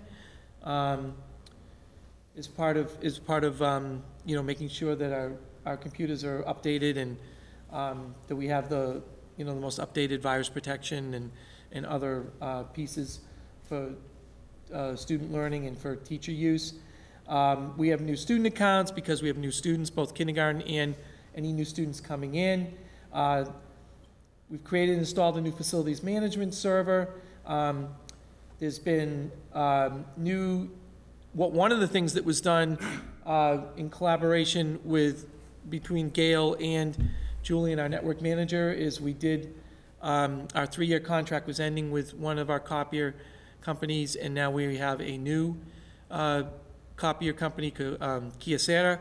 Um, So that requires a technology component as well as um, a, a a piece where the finance department is in- involved in that. And so now all of our schools have uh, the, the new, the new copiers. Um, We have a new password policy system, which is going to um, really improve the security, technology security. Um, There's a new uh, password management system, which I talked about, integrated Google account creation, use. So there's been a lot of um, infrastructure work that has been done this summer um, around technology as well. And then the last piece I just want to talk about is some updates. And one of the things that we said that we were going to do is continue to update you on any changes that were happening um, to the budget as we were going through the budget. Um, You will continue to get more detailed quarterly updates um, and also a personnel update at those quarterly times. Um, Probably at the end of September, uh, Gail will be able to give you a final FY17 report. Um, That, that is working with the town as well as schools to close out the books and make sure that um, all of our, our numbers match. And so that probably will happen at the end of September for FY17, and FY18 will be um, a little bit later um, in the, in the fall. So some adjustments that we've had to make to the FY18 budget. Um, We, we budgeted for 13 kindergarten classrooms. There were, there are 14 kindergarten classrooms, which required an additional regular education paraeducator. Um, So that is an adjustment that we had to make. Uh, We have had to add 2.5 FTE special education paraeducators this um, summer. Uh, This is an increase in service for students with disabilities at Birch Meadow and Coolidge. Um, We did have to uh, go from one bus to two bu- two buses. Um, There was a need for bus transportation at Parker, um, so that was an additional cost. And we will need to provide some additional temporary help in the finance department. In our last meeting, I, um, we did not, uh, we postponed the agenda item in terms of looking at a position. Um, We are going to build that position in the base budget for FY nineteen. It is a position that is needed. Um, In the meantime, though, uh, we are going to look at some temporary help. We are identifying areas that a, a temporary person could do um, as we move forward during this budget process and beyond. Um, So that, that is something that we're, we are going to be moving forward with, but definitely we'll be putting that in the base budget for FY nineteen. And I believe that's our update. John, I think I, Dr. Knight? Yeah, um, just, I think it's important for the community. I think the school committee understands where that funding came from, but if you could just Thank you, sure. clarify where that. Um, So the funding, the funding that, for these positions is really coming from turnover of staff this summer. So when, and I believe, I believe this, we hired thirty-one new teachers. Um, So when, when teachers are being hired and the people that they're replacing, sometimes we're in the positive in terms of um, the salary savings from a teacher coming into a teacher leaving. Other times, we are not. I mean, you, you did hear a lot of experienced teachers' um, profiles tonight. Um, So there are some times when it costs more to fill a position, uh, particularly areas like chemistry or physics or some of those high-need positions, special education, foreign language. Um, Other times, there, we have opportunities where there is some um, salary savings. So we do have salary savings where we are able to um, uh, move forward with, with these positions. I mean, we, we unfortunately do not have a choice. I mean, the special education piece is tied into children's IEPs. The extra paraeducator is for a 14th classroom, which we did not budget for because we built a budget based on um, what we had this last year, which was 13. But it is through salary savings you know, from this summer. I think it's important to understand that if, um, if we didn't have any of that, if we had, um, the preponderance of teachers that we hired that were, uh, we needed to offer salaries that were on average above, and we, we need these positions to serve children. It's required by law. We would be in a position of really going back to finance committee or something. Or We, town we meeting. have to do this, it's, Right. right, to town meeting. This is not, so, um, I don't know if this is, you know, this is three and a half, um, positions. Um, and then some, you know, the, the, um, temporary, some temporary support, but the three and a half positions, I don't know if that's sort of typical or not. I'd have to sort of look back at the data, but I think it's important for us to all understand this isn't, you know, in the, in the same way that, um, at the end of the year, the, um, the, the town, when, uh, when firefighters are needed, there's overtime required, or police overtime is required, it's executed. And at the end of the year, the town comes back, uh, and asks for that additional funding. And So- part of the process we go through is we do meet regularly through the central office leadership team to assess each of the positions and make sure they act, they're tied to an IEP. It's tied to the addition of a classroom, so there is a lot of legwork that goes into it prior to us actually, we spent, Carolyn, Mrs. Wilson knows the amount of time we spent actually assessing and looking at the hours across the district to say, okay, do we have anything we can shift? Is it tied directly to an IEP? So there is a, a lot of work that goes into the determination to actually move forward. And then we do sit and assess, do we have any savings from hiring when we combine all of it with some that came in higher, some that came in lower, to say, can, do we have the ability as of today to fund the positions? Thank you, thank you.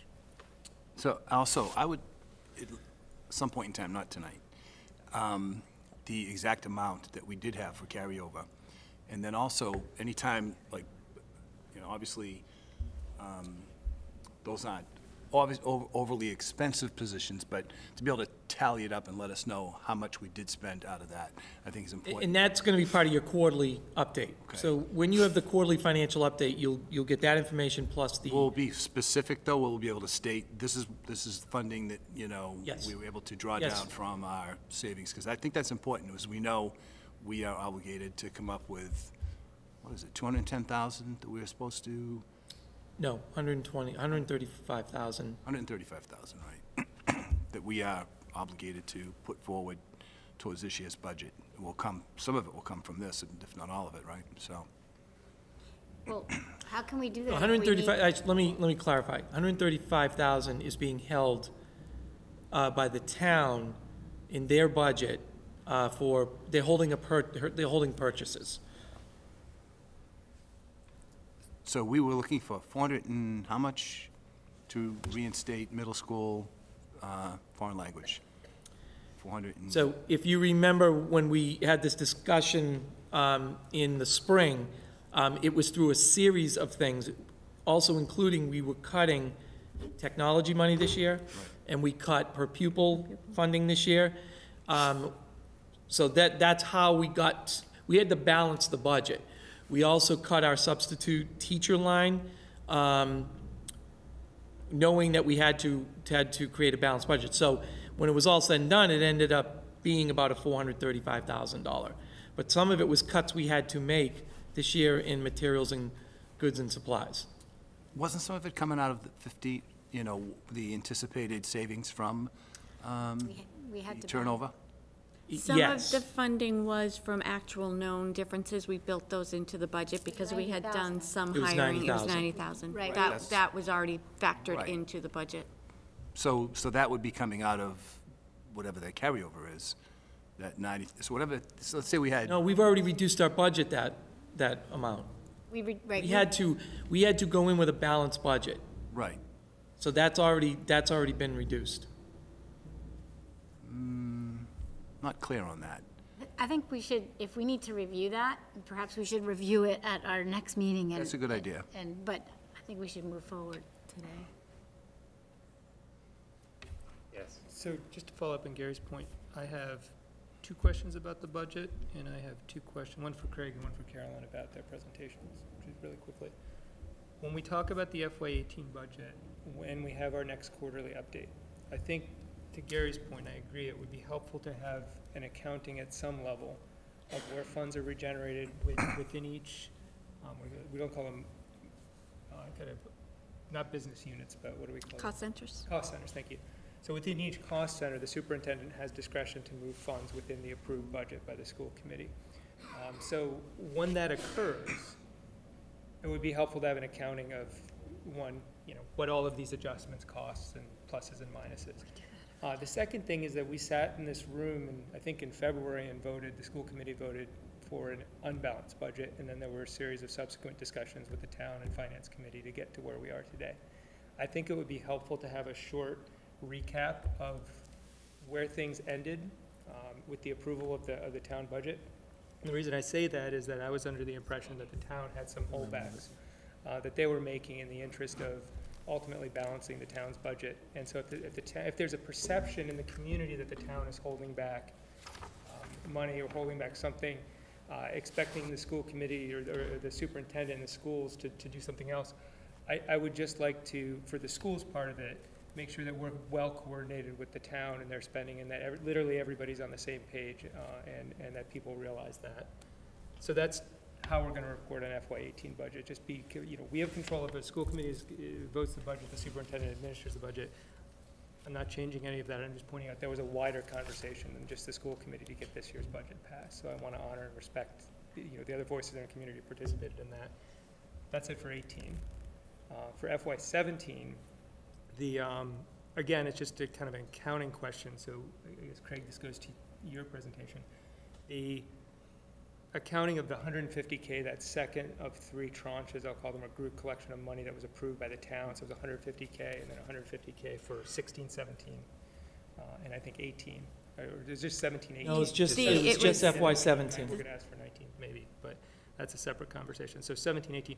For the latest hundred and fifty K installment, can we get an accounting by town meeting of where that went? So when, when, when the town meeting approved that extra money for the science, I just wanna, by the time we have town meeting this fall, I would like a document in the public record that people can go to see how the schools spent that money. So it's clear what they got for their money. Sure. Okay. Um, and then Craig, one other question for you on your presentation.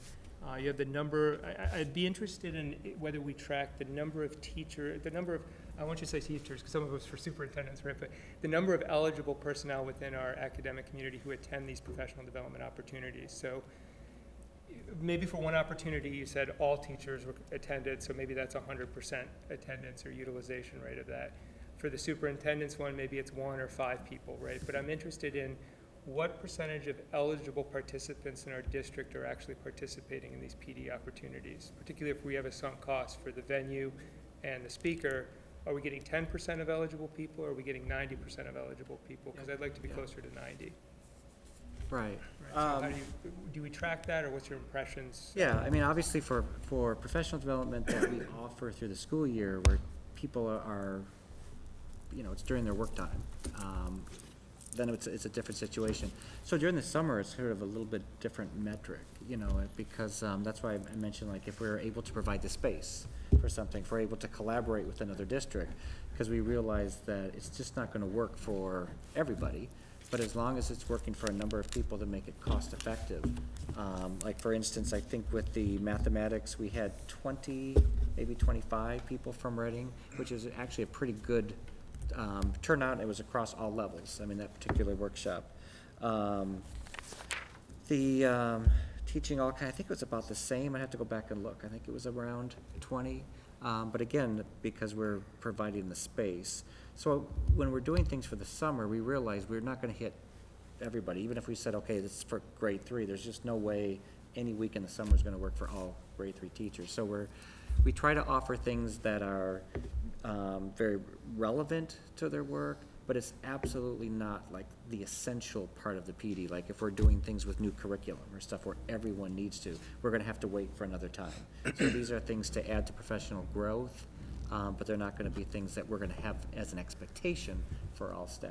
I don't know So, if that's kind of. Yeah, I just, just be interested when we report on these opportunities learning, uh, what percentage of eligible participants are, are attending? And the second question is, what percentage of our professional development events offer PDP points for the TP, teachers or participants? And I think one thing that we'll need to factor in, some of them, the classes are limited to thirty people. So Yeah, you that's may it. have seventy people that are eligible, but we can only have thirty people. So I wouldn't want to say out of seventy, you So I had would say thirty. that's It would be, Like some of it's 100% limited to enrollment. class enrollment based on. utilization rate, so if, if it's thirty and we get thirty, that's hundred percent utilization rate. If it's I- thirty and we get two, then I Yeah. wanna ask what's going on. I was gonna suggest the The same. Question about uh, PDPs, professional development points, which, Yes. which teachers need to recertify, absolutely. I mean, this is an opportunity too, um, that some teachers will say, oh, I need this, or like, take the math course, for instance. There are people that could say, I actually want PDPs specific to mathematics. Um, That that's an opportunity for teachers to do that, and they absolutely do get the PDPs um, for Do the we know what, relicensing. like all of our events, some of the events? I mean- All of, any of the PD that we offer, we are able to do that, yes, yeah. What? Can I, I, I just want to, if I can just say one other thing, that I just want to make sure the public understands. When teachers attend events during the summer, unless it's specific curriculum work that we have asked them to do, they are not getting compensated for it. And that's, thank you for that clarification. Because I think people need to understand that they're not getting compensated for coming to these trainings. Well, We're paying at some level to have the training, right? There's was gonna be mostly some- We are, but we're not paying for the teachers to attend the training Well, we during have the summer. donations, that's a great Right, point. can, Some of it's donations, some of it's grants. It's, it's a combination that we've Like, been some of it was through the ref grant, we had Yep. one of the ref grants pay for. um, I- I- Can I just, so a- as I was listening to the reports, I was, you know, struck there, there's a considerable amount that, of the professional development that's provided by donations. And I just really, I agree that we need da- the data to make the right decisions and good decisions. But I also really want to be cognizant about, we, we have a really steep hill over the next couple of months. And this is the staff. This is it. Carolyn doesn't have anyone else. Gail doesn't have anyone else. Every time we ask them to dig into some data to provide something, we have to understand now there's a cost. And I just, you know, we, we need to make sure that the community is hearing the information and that it's transparent. But I, I really think we need to be very cautious about, we need data that's going to help us make the best decisions we can about where to put the limited funds we have to get the most out of those funds in the focus areas that we have. And this is our staff to do that. This is our staff to lead the rest of the staff in the district. And if we, you know, I, I also feel like we are asking for data that you do already provide, so maybe we just need to be reminded of this is the data, or it, you know, maybe we just need to put the bullets in a different spot in terms of how we're seeing the data. I just really want to be cognizant of that, because we're not going to make it to this, this road. We're not going to make it to October with the staff if we keep burdening them.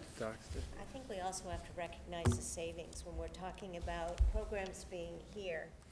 We're talking about teachers not having to travel. We're talking about other teachers from other districts, both sharing and also helping to compensate, um, paying some of the bills, so to speak. Um, my question was really also about, um, the temp, because I'm hearing all these requests for numbers and, um, processing. And I'm wondering about how much we spend on training and retraining when it's a temp person. So I want us to consider all sides of this. It's not just what we spend, it's what we save by doing it a certain way. So are we actually spending more in time and energy in a temp person for Gail? That's um, just for a specific example, when it's something that would be valuable all the way along. Um, I don't want us to be penny wise, pound foolish, as we've seen. Um, So I just want to register that we save money by spending money sometimes. And that I think if we want all this more information, we need to acknowledge, like Mrs. Webb said, the cost of our people's time and the limits of our people's time, because we want them to stay. And if we use them up by making them work seven days a week, as I heard today at the teacher meeting at seven o'clock, some of our administrators don't leave. They're there seven days a week. If we burn them out, we have to retrain, we have to pay more for replacements, and we lose great people. So I think we just need to think about that. Can I, I just want to give a quick example. I was talking about the math course of sort of some of the behind-the-scenes hours that goes on. I mean, the way that started was with a couple of our teachers many months ago. Professor Sharma was giving that course in a few different places in the region, where essentially there's an organization that's hired him to provide the course. There's even graduate credits available, um, and then people are buying their slots. There's a- essentially a tuition. One of our teachers in particular had applied for an REF grant that was so passionate about this, you know, in REF. So behind the scenes, we're, we're talking about, yes, they're gonna grant that, but if we could actually bring Professor Sharma here, and, you know, for what it costs one person, we could probably send four, it. And so it's a matter of rechanneling some of that fund, reaching out to other districts to say, wow, you know, if I could get Professor Sharma here, conversations with Professor Sharma, what are, what's your calendar for the summer, could we arrange this? Um, how many slots would this district like? We reach out to different, then we figure out, we can make this work.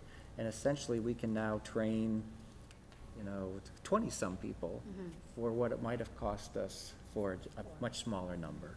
Um, so that's the kind of stuff that we're constantly doing to see to get the biggest bang for the buck. And there's the exchange of ideas in those classes by bringing in people, teachers who are doing best practices in other districts. And Right. that's invaluable. Yes. I just want to say, Elaine and- and Linda, I, I agree with what, what they said about, I'm not looking here to, to be clear, or even Carolyn, I'm not looking to drill into existing data. That's not what my request is. I'm just looking forward and saying, when you, Craig, for instance, present a, a result and say, we had these results, four out of five, five out of five assessments from teachers. We obviously do some kind of a responsible, we spend the taxpayer money or donation money to, to have a PD, we get feedback about it, and we try to improve. What I'm saying is part of that presentation could be, look, there were thirty slots and all thirty of them were used. Going forward, I'm not, I'm not asking for more data, I'll be very clear, and I completely agree with the points that, that the other committee members just raised. We have to be responsible in our use of your time as a resource. Uh, but I think in the future, it's helpful to hear that, hey, we had hundred percent of available slots taken, this is great, or we had, you know, whatever.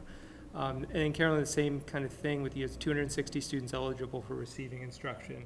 I think you, just going forward, be able to say, we identified this number of students, this number had actually received instruction, and here were the drivers of why, and how we can improve, what we learned from that. Yeah, which is always a variable. anyway. It is a variable, just so you understand in the summer, because families have Oh, vacation, so when we say we had two hundred and sixty students eligible, we may have had students who attended for one week and then Sure. spent the rest of their summer in a camp. We may have had students who were there with us the whole summer.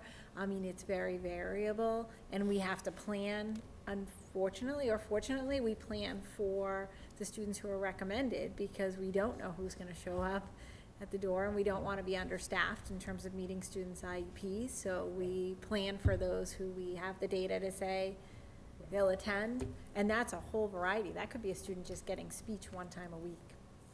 So, it's not students always in our programs, it's very variable. um, and we have to plan to meet every student's need, Yes. as you pointed out. We, we, we get the uncertainties and the challenges to, to some extent, and, and to the extent you can help us, um, by sharing information about, you know, like I mentioned, in the future, I think it's just helpful for how we think about it, but I'm not asking for anything new.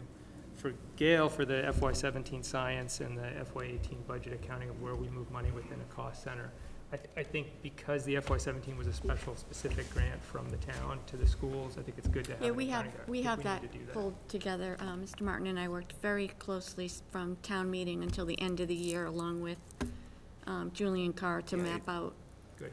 the, the hundred and fifty thousand, so we spent a considerable amount of time working through that. Thank you. I think it should be a, a handout to town meeting, not a value judgment discussion on what we spent it on. Oh, I completely agree. It's just an accounting, but people know what they bought, that's it. So what you got. Thank you. And not to belabor the point, but I don't think we asked for anything that isn't readily available anyways. Um, You know, like, for, for example, the amount of money that was, how the money was expended, $150,000. It just, we just have to be, I think, under the circumstances, going forward with an unbalanced budget, getting support from the Finance Committee, from town government side for changes in our budget, we just have to be very, very clear under those circumstances going forward as we're looking for an override. And I think, you know, oftentimes, you've heard here and heard other places where, oh, they don't need the money, they'll find it, don't worry about it. And we may have found it, but we need to explain how we found it and, and just be very, very clear in terms of how the money that we do get, like that $150,000 to me, I think is very important. This is how it was spent. And, um, you know, not, again, it's not a value judgment, it's just, this is how we, this is how it was spent. You gave it to us, and this is what we do with it. And I think in my mind, from what I read, was all well spent. Um, in- In line with the budget topic, All right. um, everyone has. Can I, I, I Oh, forgot about one last, uh, area. In your information piece, um, I'd be remiss, since a year ago, we were having major discussions about this. Um, I have given you the latest water tests for this year. Um, the good news is, is that there, we have had no lead and water issues at the two schools, um, that we did test this summer, which included, uh, Joshua Eaton and Rise, which also is the central, uh, office water area. Um, but the memo clearly outlines, and I, I want to thank the water department again for their help in this, um, clearly outlines, um, where they can, people can find the results, where people can find the, um, the other information. And also I gave an update on Killam, um, which will still be using bottled water this year, and how we're going to approach, um, all of the kitchen faucets in the, uh, in our kitchens this year. So that is all captured in this memo. I just wanted to point that out. Um, and we will continue testing next year, um, according to the plan. We are over testing from what the state is recommending, so I want to make that clear as well. Next year, we're, um, scheduled to test Parker and Barrows. So we'll be doing all of the, uh, faucets and, um, at Parker and Barrows next year.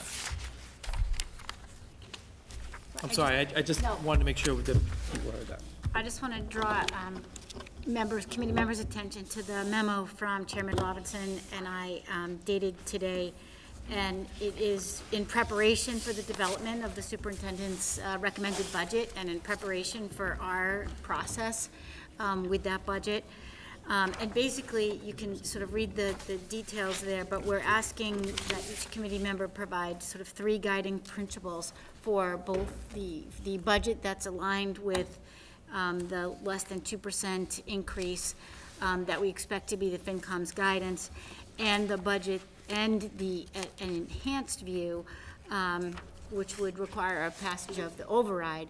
And what we're asking committee members is for each of us to review document, the documents for the district goals and the focus areas, as well as I, um, we felt that the rationale that was developed last year is also just a good reference document, but provide those um, guiding principles to uh, Chairman Robinson and I on, by September sixth, so that we, they can be part of our agenda and discussion, um, the meeting September eleventh. It's essential that um, Dr. Doherty and Ms. Dowd and um, uh, Ms. Wilson and Craig, Mr. Martin have this um, information and that it's, and that we do have an opportunity to discuss it so that we each sort of bring those principles to the table and we'll discuss them on the, the 11th. And, and that memo was actually part of the, the budget discussion that, but that's fine. That- As a part of what, so in the packet as well, we included a draft of the FY nineteen calendar that highlights um, a lot of the key dates as we go through the budget process. And these dates, for those who attended the Finance Committee meeting, which seems like it was a long time ago, but I think it was last month, um, to talk about the fact that we're, we're trying to accelerate some of the budget timeline in order to make sure we have everything prepared for the baseline, as well as the enhanced view. The schedule that we put forth for everyone, a couple of the key dates, the guiding principles will be important for us as we start to go through and develop the budgets. October 11th is when we are anticipating that we will have the final guidance from Finance Committee. As Mr. Martin mentioned, October 21st is when the, um, we are planning the parent university. One of the sessions we are looking to potentially have that day, depending on interest, is a discussion overall on how the budget process works, so that those parents that are interested in that will offer a session that Saturday. Similar to what was done last year, Dr. Doherty will have his community forums as well as office hours, and to the extent parents have questions, I, I will be participating in those as well to help educate the community as much as possible. We will be looking the last week of December to distribute the budget documents, which will include the budget book, as well as the document on the enhanced view of the budget as well. We did want to point out that we have laid out preliminarily how we plan to step through the various presentations during the month of January. We have added a Saturday session, which is Saturday, January 13th, in order to make sure in the accelerated time frame we have enough time to get through everything. So we did add that date because we want to make sure we allot enough time, especially since we also want to cover the potential override budget. We also have laid out in here time when we would anticipate receiving questions from the committee so that we can also allocate enough time to ensure that we are addressing the questions throughout the process from the committee as well as from Finance Committee and town meeting members. And the goal this year will be for the various members of the committees to be attending all of these meetings, so that when we get to the Finance Committee meeting, it'll be more so to address questions as opposed to do a full presentation, because if they're attending the meetings, they should have the bulk of what they need. Yes. Two questions. One, um, first of all, before I get to questions, this is really well done. Thank you. I you. like the timesheet. This is, this is a really helpful tool to align the community around an area that was a lot of discussion. I thought the discussion last year was very compact in February, uh, January, and I think this will hopefully help spread that out more and allow more time for uh, all- everybody in the community to participate in different ways.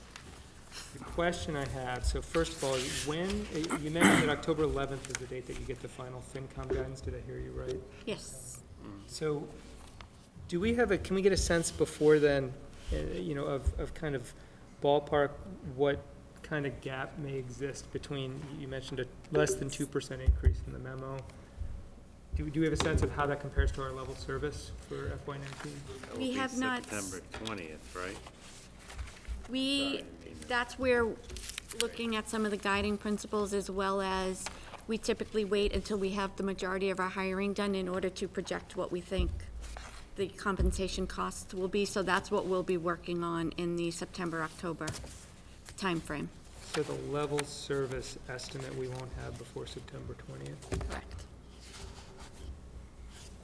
Okay. So the sooner, yeah, the sooner we can get, to me, to me, that, that's a really important part of, if we can identify principles, that if we're looking at a, something on the order of a half a million dollar gap, that's, that's one set of realities. If we're looking at a one and a half million dollar gap or something really big, that's, that's a very different set of realities, right? So whenever we get that information and are able to publicly discuss it, just even directionally, that, that's a big difference in how I think about principles and, and what kinds of changes, you know, we, we might. You're not make. gonna get that information until you receive the budget book in late December.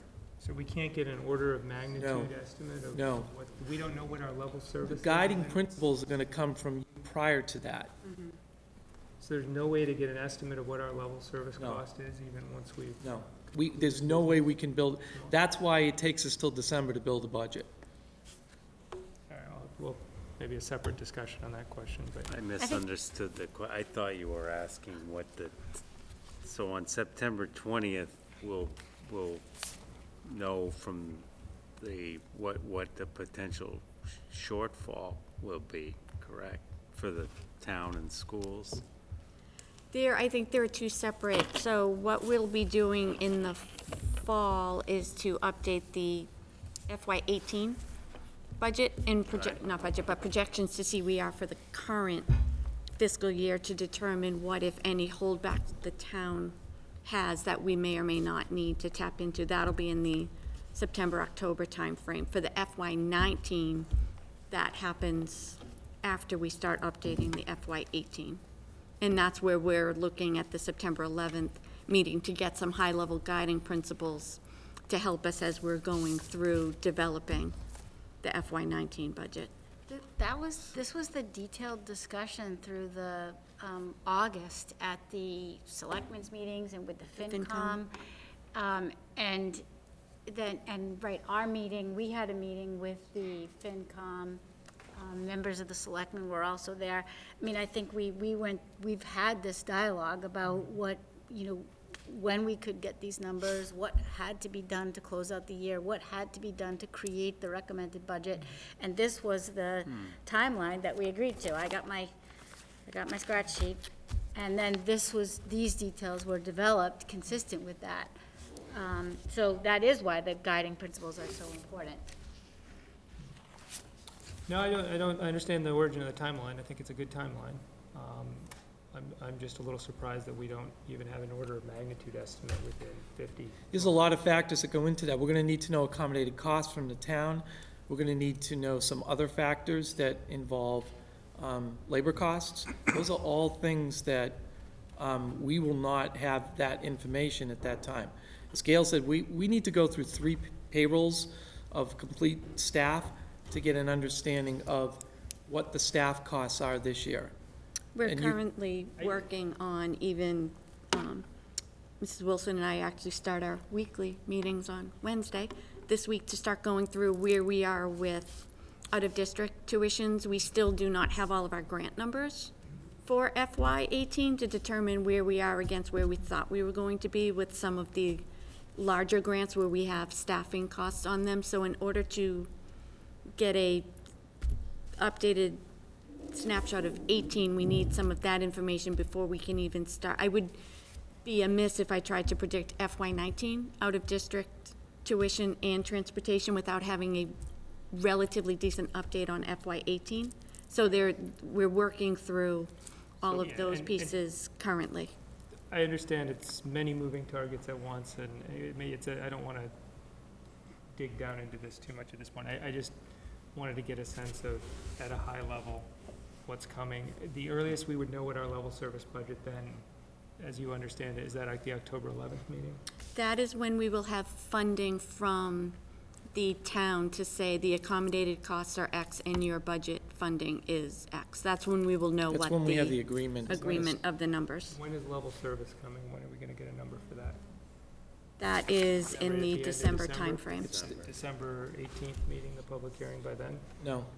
When you get the budget book in late December is when you will have that information. So end of December, budget documents, that date. All right. What's, what's the, the September twentieth financial forum for? I mean, what, That we're still waiting on final. That's a Yeah. placeholder that the I'm not town sure had gonna- put don't on think for it's any necessary. financial updates. My but guess is it may not happen. It may but- not happen. We just put it as a placeholder for now. That would be much more of a high level. At that point, I think we'll still be working on the free cash number and pieces of that. So we don't anticipate getting final guidance until the October 11th. But FinCom had put that as a, as a placeholder for, I think, it might be more just general conversations. The Second question was just the override spreadsheet, so the structure of the budget as we understand it. So we'll have a budget that assumes current projected funding based on the FinCom guidance that we received in October. And then we have something in here called an override spreadsheet. And so the spreadsheet, is that gonna be an accounting of what we would do if the override is approved? So That's what the- we, this is what we're requesting, this is what we'll do with it, right? So the vision of that would be to take what is in the superintendent's balance budget and any ads that we're putting, and it'll be more annotated to say, here is, here are the cost centers, and within each cost center, this is specifically whether it's FTE, whether it's technology, um, whether it's curriculum-based. So we'll have an accounting of here are the additions to get you from the baseline to the enhanced view. Most likely, what you would see in a override or enhanced budget are things that we have had to cut over the last few years and potentially would be cutting in FY nineteen. So we'd see an accounting of. Mhm. Yes. These are the Yes. things that we would be getting, Yes. this is how it benefits students. So it won't be the budget book, it'll be probably a two to three page So, document. Just to, If I that. don't mind if I can jump in, sorry. Do you have something? I just think it's important, like, for example, the position you talked about that would be um, Assistant Gale, we had that position at one point in time, correct? Correct. Yes, we did. Yeah, so that would be important to, because we, what we don't want to come across, we're adding new positions if we restoring get of- this money. it's restoring We're things restoring, Yeah. because I think there was a lot, you know, and that has to be very clear, because I think last, uh, you know, our, our last attempt, there were questions around that. And I know we did the best we could, but, you know, to really emphasize that these are not new positions. I think in some cases, we did put some new positions in, but I think we need to be very careful about that, because people are gonna say, wow, they're extra money, they don't need those positions, they didn't have them before. So, and that's why I think that level service budget is very important, when we can get that. Because I think people can say, okay, here's, you know, here's how, how much money we have this year, this year allocated, and if we want to have the same services we had this year and the previous year, these are the things that we, you know, this is how much money we need. Level, level service, meaning providing the services to students that we do this year. That's gonna be that. I think it'll be a combination, because in order to, what, what we've agreed to with part of the discussion we had at the finance committee is that what gets presented and passed forward would be a balanced budget, basically balancing to what has been allocated, and then when we do the enhanced or override budget, that we would outline in there specifically everything that we are proposing to add back to the balanced, I don't want to risk calling it a level service, So it'll the be a purpose- balanced The budget. purpose of tonight's discussion was to review the calendar. We're Yes. getting way too far into Yeah. this, uh, th- for tonight, so, yes. The, um, public hearing on December eighteenth, what finalized school budget is that gonna be on? It's not gonna be on a, on a school budget. It's a placeholder. The, the public hearing is gonna be on that Saturday.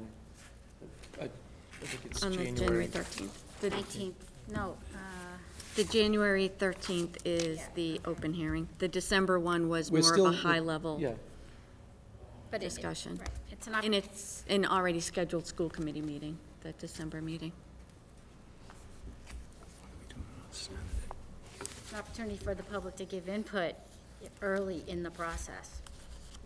Well, they're supposed to give input on your final budget. And that, that'll be the January thirteenth. Right, because all aspects of the budget will be presented.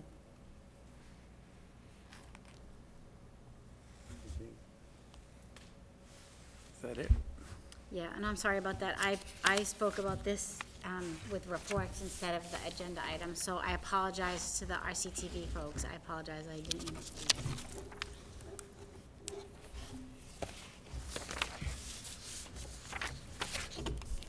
so I think RCTV is next. Oh, I'm sorry. Bill, sorry about that. That's okay.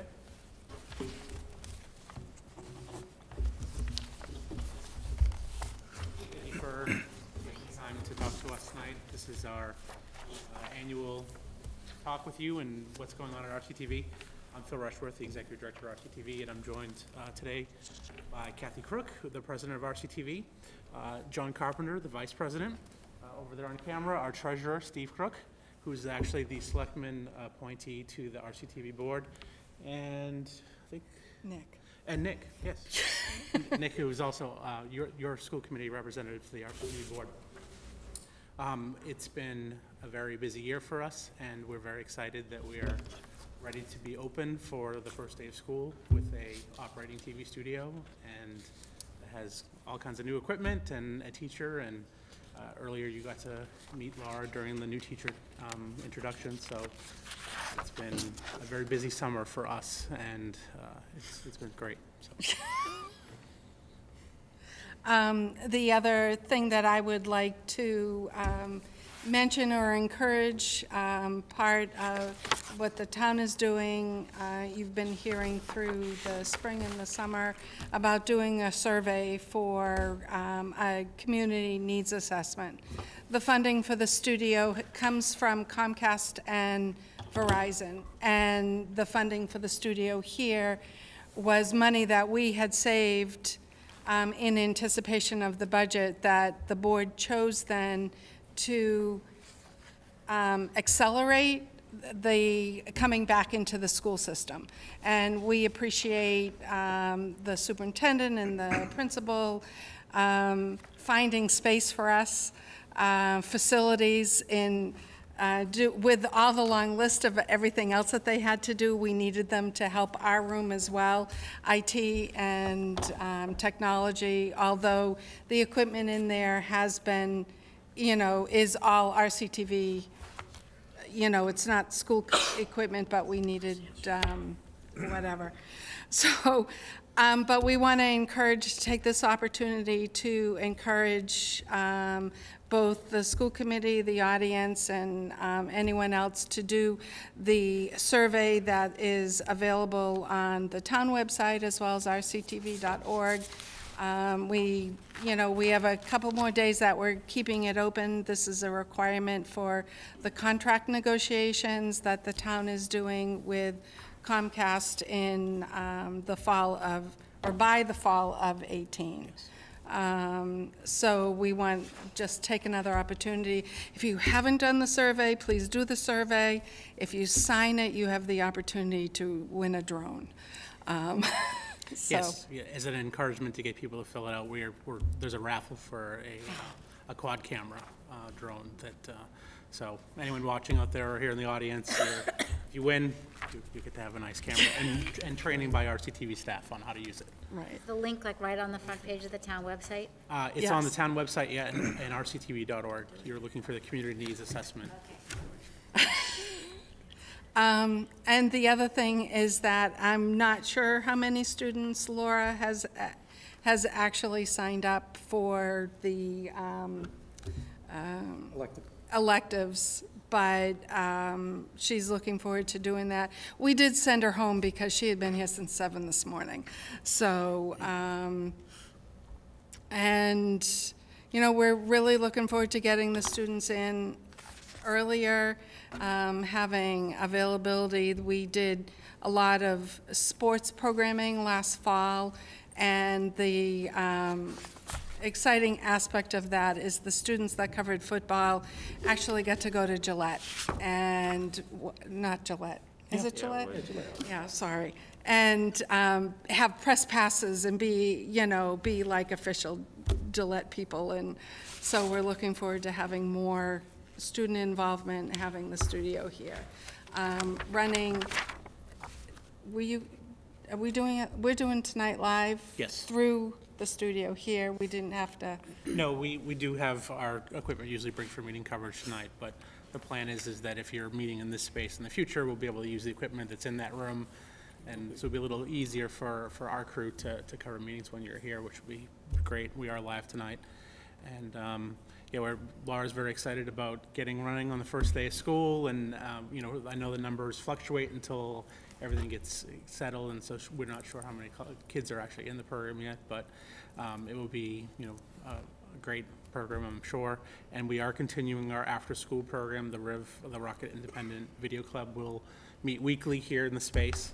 Um, and, yeah, so we're available for questions if you have any questions for us. Yes. I just, I want to thank RCTV again for what you give back to our town as someone that's been organizing events um, for over 20 years here. You have helped us extend the impact of those events to the people that can't come to the events, just like you do the school committee meetings and the selectmen meetings, and it's vital, vital service to the town. And I'm so excited about you being in the school and extending these opportunities to so busy, kids that are already so busy, but you're gonna be in the space where they are, which means it's gonna be easier for them to participate. And I'm looking forward to the interchange that that enables between our kids and the people that they might choose to interview. So they'll also get out of this ivory tower kind of environment and into the town and interviewing and interacting with other programs and, and vice versa, getting some of the people from the town into the schools to be a part of this. So I want to thank RCTV for this effort and for the funding, and um, thank you. And for staying late. That's all right. Yes. Gary had a question. No, I- just a comment too, that um, back in the day, in, when I was uh, director of, uh, I forget, Applied Arts, they called it, in Danvers for a while, and I oversaw that particular program that you have. Not that I had any great knowledge in it, but I could see the amount of student interest and um, how supportive it was to the, the school community in general. So I'm very excited that we're back. I know, I know years ago we had it here and, uh, you know, we lost it, but now it's great that it's back. And I think, uh, it'll build, maybe we won't have as many students this year because it, you know, but it'll, it'll grow. Yes. I just had a quick question. Um, so I, I was noticing about the, um, interns graduated. Were, did you have high school interns that were part of the internship program? Or what, what does that mean exactly? Were, were they doing a, the senior internship with RCTV? Yes. During the second semester? It was through, through the guidance depa- department, we were offering a program that was, they were accredited, um, and they would do, I'm, I'm not sure if it's the right term, work study, or, I don't, it was. Right, there's two That's- different programs. That was different. Right. That was different than, than What- what you're referring to. Oh, okay. Maybe there's more than, more than two variations. Okay, I just was curious. I This know we- internship was the whole year. Yes, there, unfortunately, Angela Merrill, who's our education coordinator, wasn't here tonight, and so uh-huh. she would be able to speak to exactly all of oh. that interaction. What you're talking but- about was just April to the end of the year. Oh, right, okay, so this was a, a more year-long program. I know there's a bunch of students who, you know, have particip- participate long-term um, with Mhm. RCTV, and I think it's excellent, but I know we also, it's a great um, internship opportunity for that specific program, too, which is ju- the second part of senior year. Yeah, the, s- the superintendent invited us to the, the eighth grade fly-up day where they come and, and, uh, um, you know, see all the electives, and we were a part of that this year, so it was great to interact with a lot of students, and, you know, they signed up for, you know, information, Future whether it be the after-school program, or, you know, find out that we're, you know, we were coming here to the space, so, um, you know, there's a lot of excitement from the students about us, us uh, being here, so, and we're, Great. we're happy to be here. Great, excellent. Thank you. You're welcome. Thank you.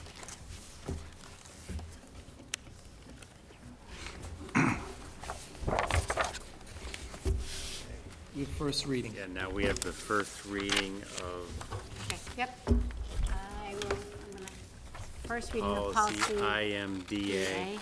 So, um, this is the accommodations for religious and ethnic observances, policy IMDA.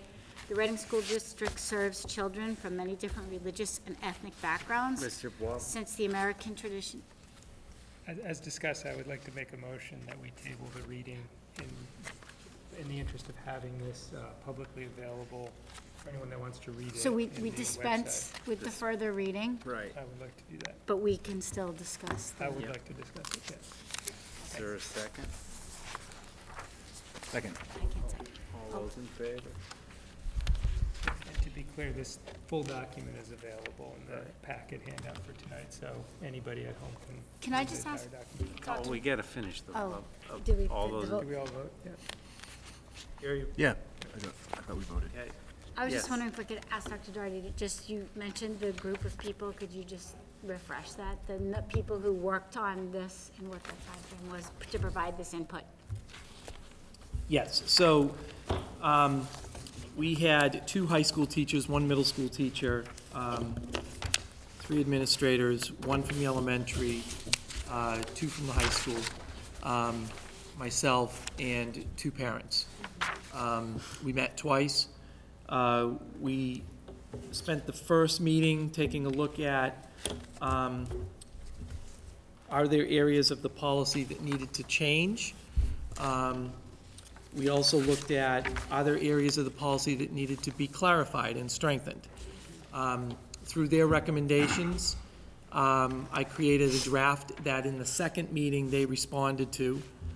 And um, what you see here is their recommended product. Can- Can you, you mind going through the, uh, what actual substantive Yes. changes? A lot of them are Yes, I'll be, formatting. some of it is moving things around, trying to format it so it would make it look more user-friendly. There is a lot more uh, specific examples um, to the policy, so I'm going to look at the one that's not redlined.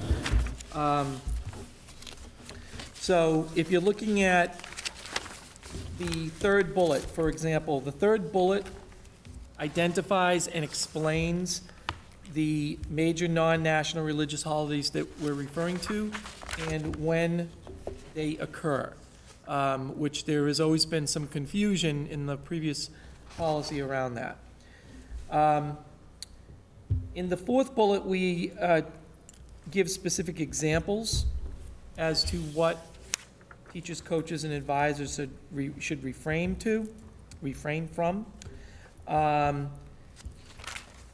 We also, in, on the next page of the policy, we give examples, so on the top bullet of the next page, we give an example about um, if a student is absent from school on Yom Kippur and was assigned a long-term project, before Yom Kippur, the project cannot be due the day of Yom Kippur or the day after Yom Kippur. So we have the statement, but then we also give a specific example. Um, One of the things that was brought up by the teachers in the group is that they need, they wanted to see some examples so that they can understand more what um, some of these areas were. If you go down to the last bullet um, on the page, that page, you'll see that we give a lot of examples of what accommodations could be, not necessarily what they have to be, but what they could be.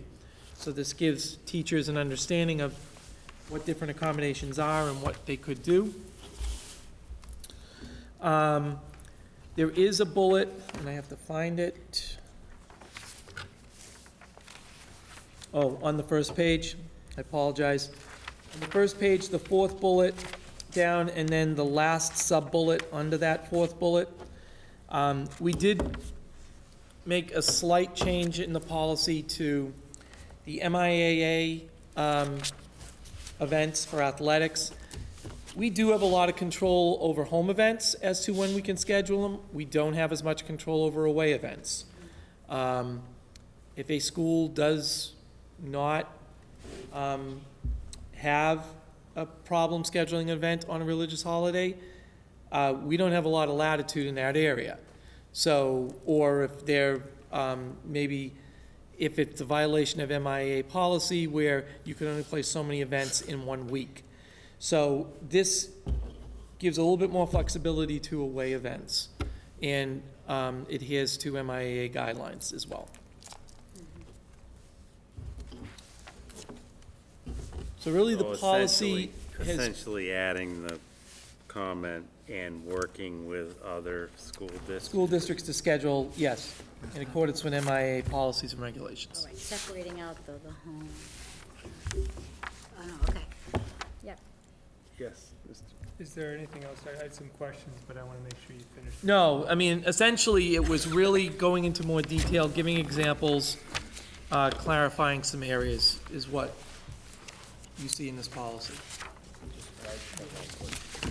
I know it was on the other policy, but it struck me when I or was on the, the policy, but struck me when I read it again is, is under bullet four, or three, the last bullet, the superintendent will identify. So is that saying that the superintendent can add another religious holiday to the calendar without the school committee So consultation? for this, for this, pol- so, and that's, that was in the previous policy as well. No, I know it was, and I guess I, you know, I'm not saying you, but that Right. this policy goes on for whoever a superintendent is, and I guess I would want the superintendent to be consulting with the school committee before he or she adds another holiday Well, to You the, approve the calendar. right. Oh, oh, right. So, so what I would be doing is recommending to you, you would approve the calendar Yep. that has that holiday. Could- Oh, maybe that should be denoted as part of this statement, that that, right, I see what you're No, saying. I mean, we, right, yeah, let me think of, I, maybe I, Okay. yeah, you're right, I know we do. Uh, I was just thinking that, why do we even want to get into that discussion where we're, I, I think the calling reason out why on the that's there is that the- we don't know what may, um, it, it could be the change, the way the, you know, the community could change and, or there may be other holidays that we need to consider in the future. Um, and that's fine, I guess I just don't want the superintendent to say, we're now going to have Yeah. X holiday off without, Right, but that would, again, you approve the calendar. Dr. Doherty, though, it says at the, ca- um, and communicate them on the school calendar at the beginning of the school year. So I just wonder, but the, but That's really. we- after we've that's approved the after, right, it- calendar. It should, I wonder if it should just be t- tied to the approval, that this statement should be tied to the approval of the calendar versus the beginning of the school year. Have it tied to the school committee. I agree. Can I ask, is, is that, I don't get the sense that this is mandating action. It's just making teachers aware and, and people aware of other holidays. I'll use an example. No, this no, it is, isn't, this it's is, saying that, he can identify. No, it may- doesn't mean that days would be off. No. What it means is the policy for the accommodations would be followed on those other days. Right, so but we would have to right, approve but that. we'd have to, I, I know, I know it's not just days off, but if we're, uh, I think we need to identify in the policy which days that the accommodations need to be adhered to and not start adding more uh, at the discretion of the, Superintendent. of the superintendent, right? I mean, that's what I'm, Right, uh, I I understand your concern, and I will definitely put it in there, but it would be your approval of the calendar. That would be included, when you approve the calendar in November, December timeframe, it would be on that calendar. Right, it But I, lists I will those- clarify the, I understand what you're saying. It lists the, the non-national religious holidays that the accommodation policy Correct. applies to, is, Correct. are listed on the calendar. Correct. Right, and we approve that. It's the calendar you approve, But I think has it- those holidays. Yeah. I think he should, yes. I ca- I can give an example of where it might come up that the superintendent might make a recommendation for an adjustment. A couple of years ago, Eid was scheduled, the holiday Eid was on the first day of school for many districts. oh, I'm sorry. The- The Muslim holiday of Eid was at, and this year it falls on the Friday that we have off. So it wasn't a conflict, but when you think about it, if there's a population that needs to celebrate that and you start school on that day, it might be that the school committee needs to consider not starting school on that day. but we would do that as part of our calendar approval in the November timeframe for the previous year. Right. I wouldn't expect anything to come up i- like that in the middle. The calendar is going to be set, and we would know about that, and it would be part of that process. Right, the impression I'm getting from this is that he would be aware of that. And so before we start considering the calendar, we would be made aware of that and we would vote on it. We would discuss As it and part of our it. approval of the calendar. Right. Okay. Right. I So understand the just an concern. I will, awareness. I will put in some language that hopefully clarifies it. Poor Yeah. Nick. I, I, I have s- a number of concerns. I'll group them into three buckets with this. Okay. Um, The one real substantive concern I have is this. I was very concerned and remain concerned about students feeling or being put in a position where they feel they need to identify their religious beliefs for taking advantage of this policy. I don't want a student to be in that position. The mechanism we have right now here, I think, is unchanged in this uh, policy. It's the last bullet point um, under, it's the last bullet point of the policy. To be entitled to these privileges, the pupil, student, must present to the principal a written excuse. I don't like that word excuse. um, Signed by a parent or person of standing, etc. So a parent or guardian, either 24 hours before or the day they return.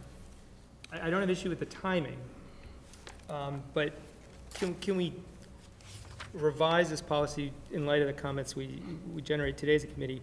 I would propose that we soften that to allow, an there's a lot of different ways we could do this with the technology we have today, but basically all your communications are going student to principal here, or parent to principal.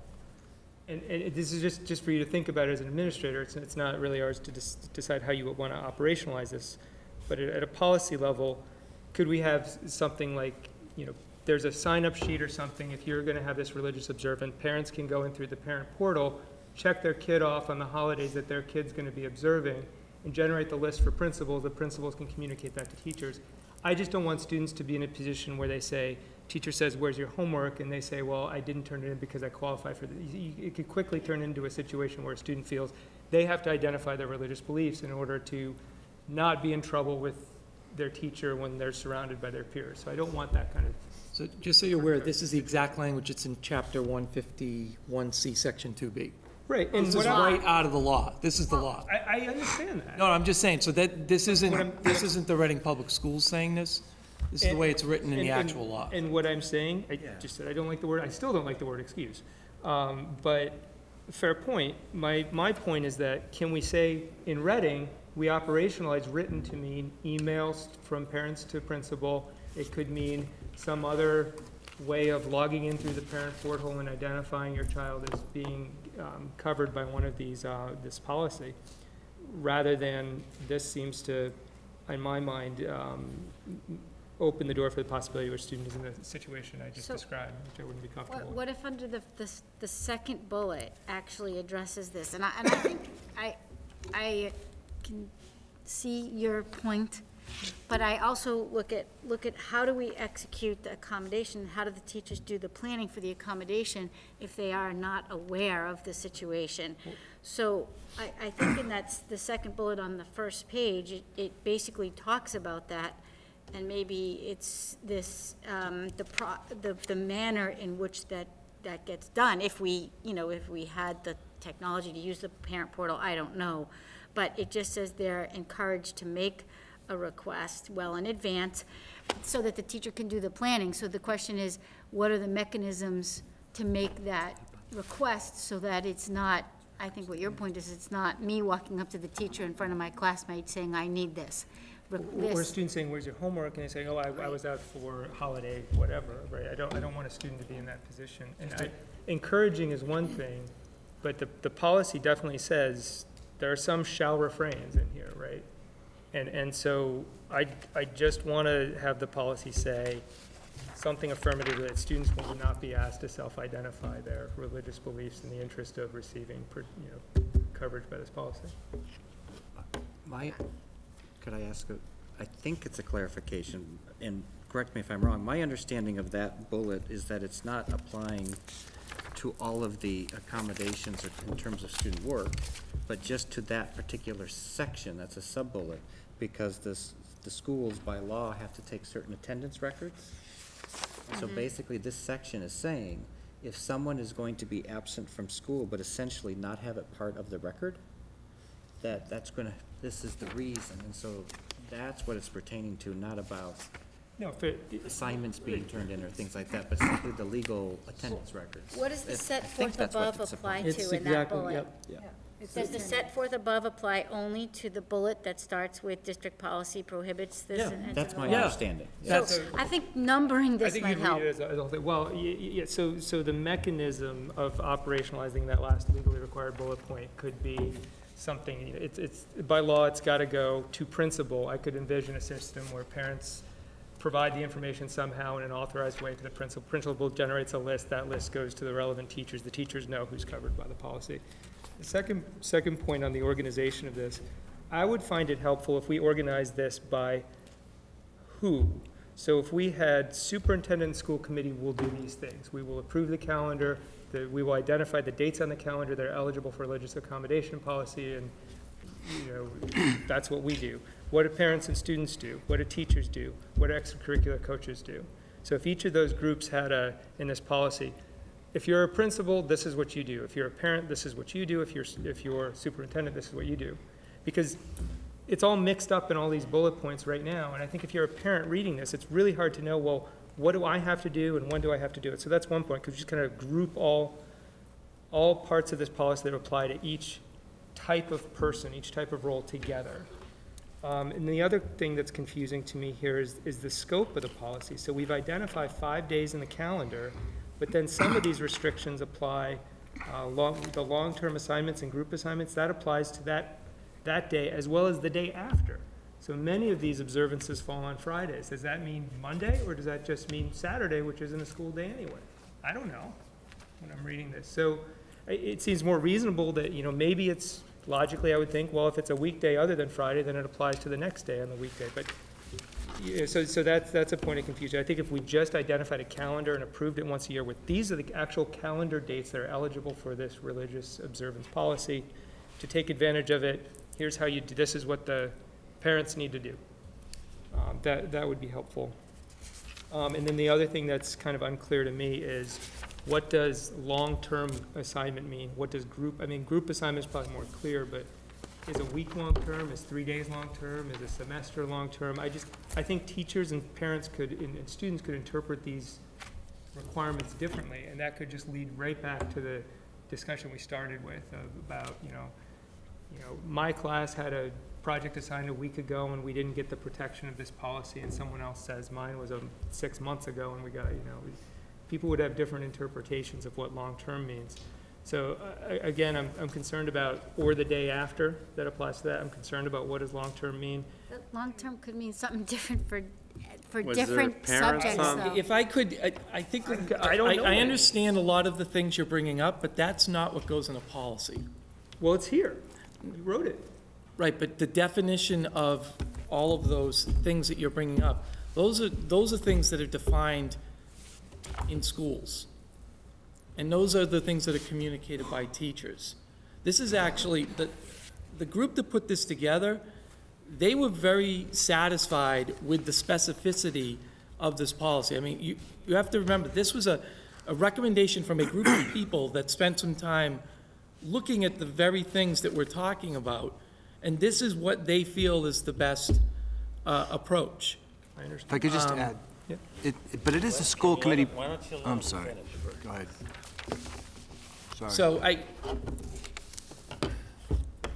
I, I'm not, I, I will, will do our best, I'll do my best to put something together that satisfies some of the things that you're bringing up, but I, I think, I think it's gonna, it's gonna actually create more confusion, but, see.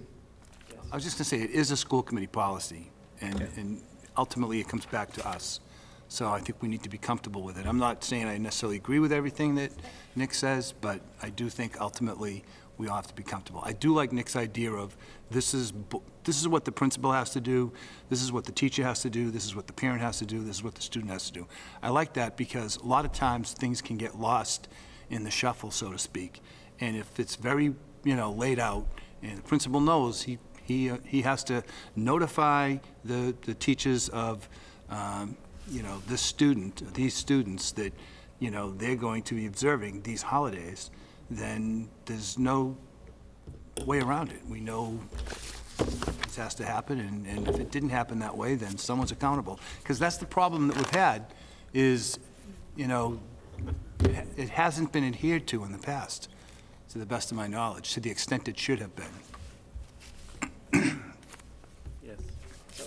I, I think along those lines, though, that's not the process that we have right now, and that's not the process that's described by the policy. And I think if, we- if we're saying, some members are saying to change that, that's a, that's, that's a bigger shift than was looked at. And I'm not, again, I don't know that we have that process in place.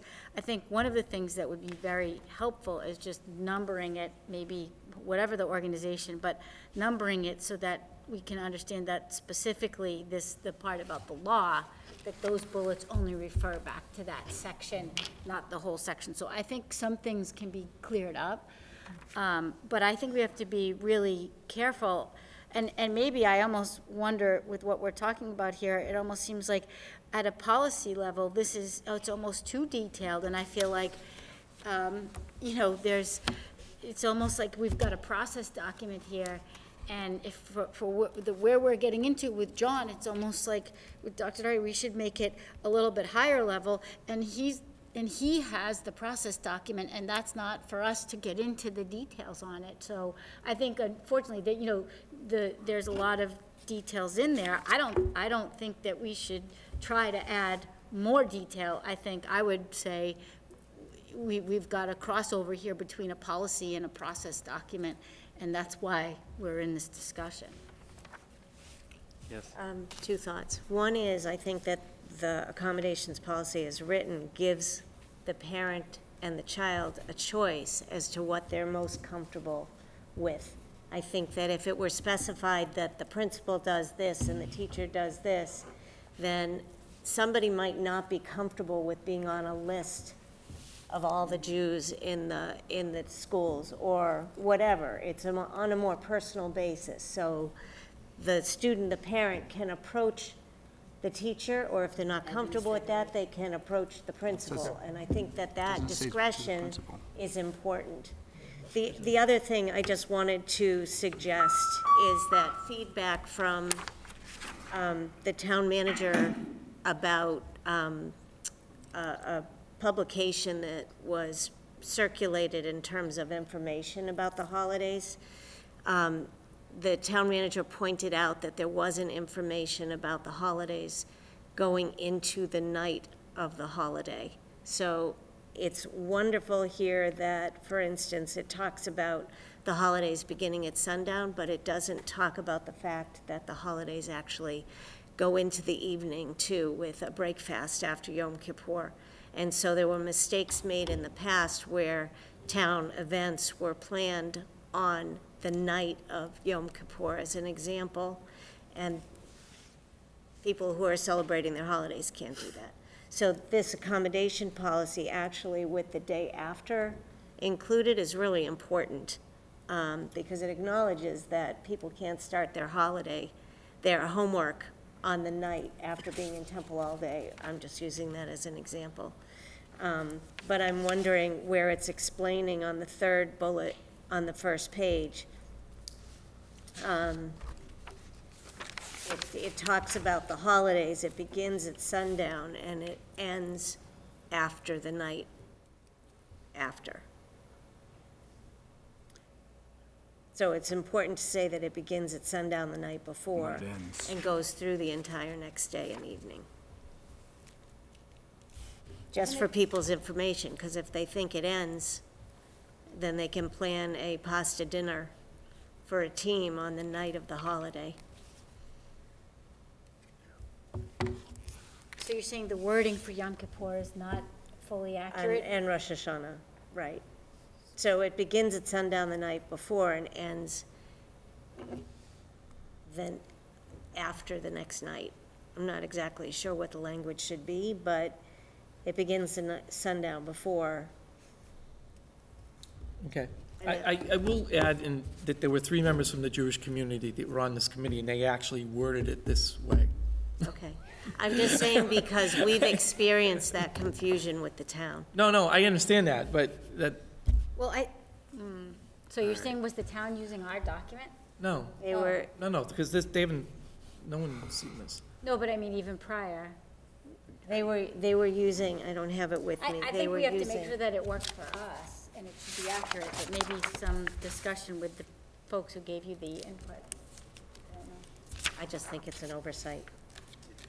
Because the assumption is that you would know, like, on Easter, you'd know that it goes through Easter dinner. But on the Jewish holidays if it's not always familiar or assumed.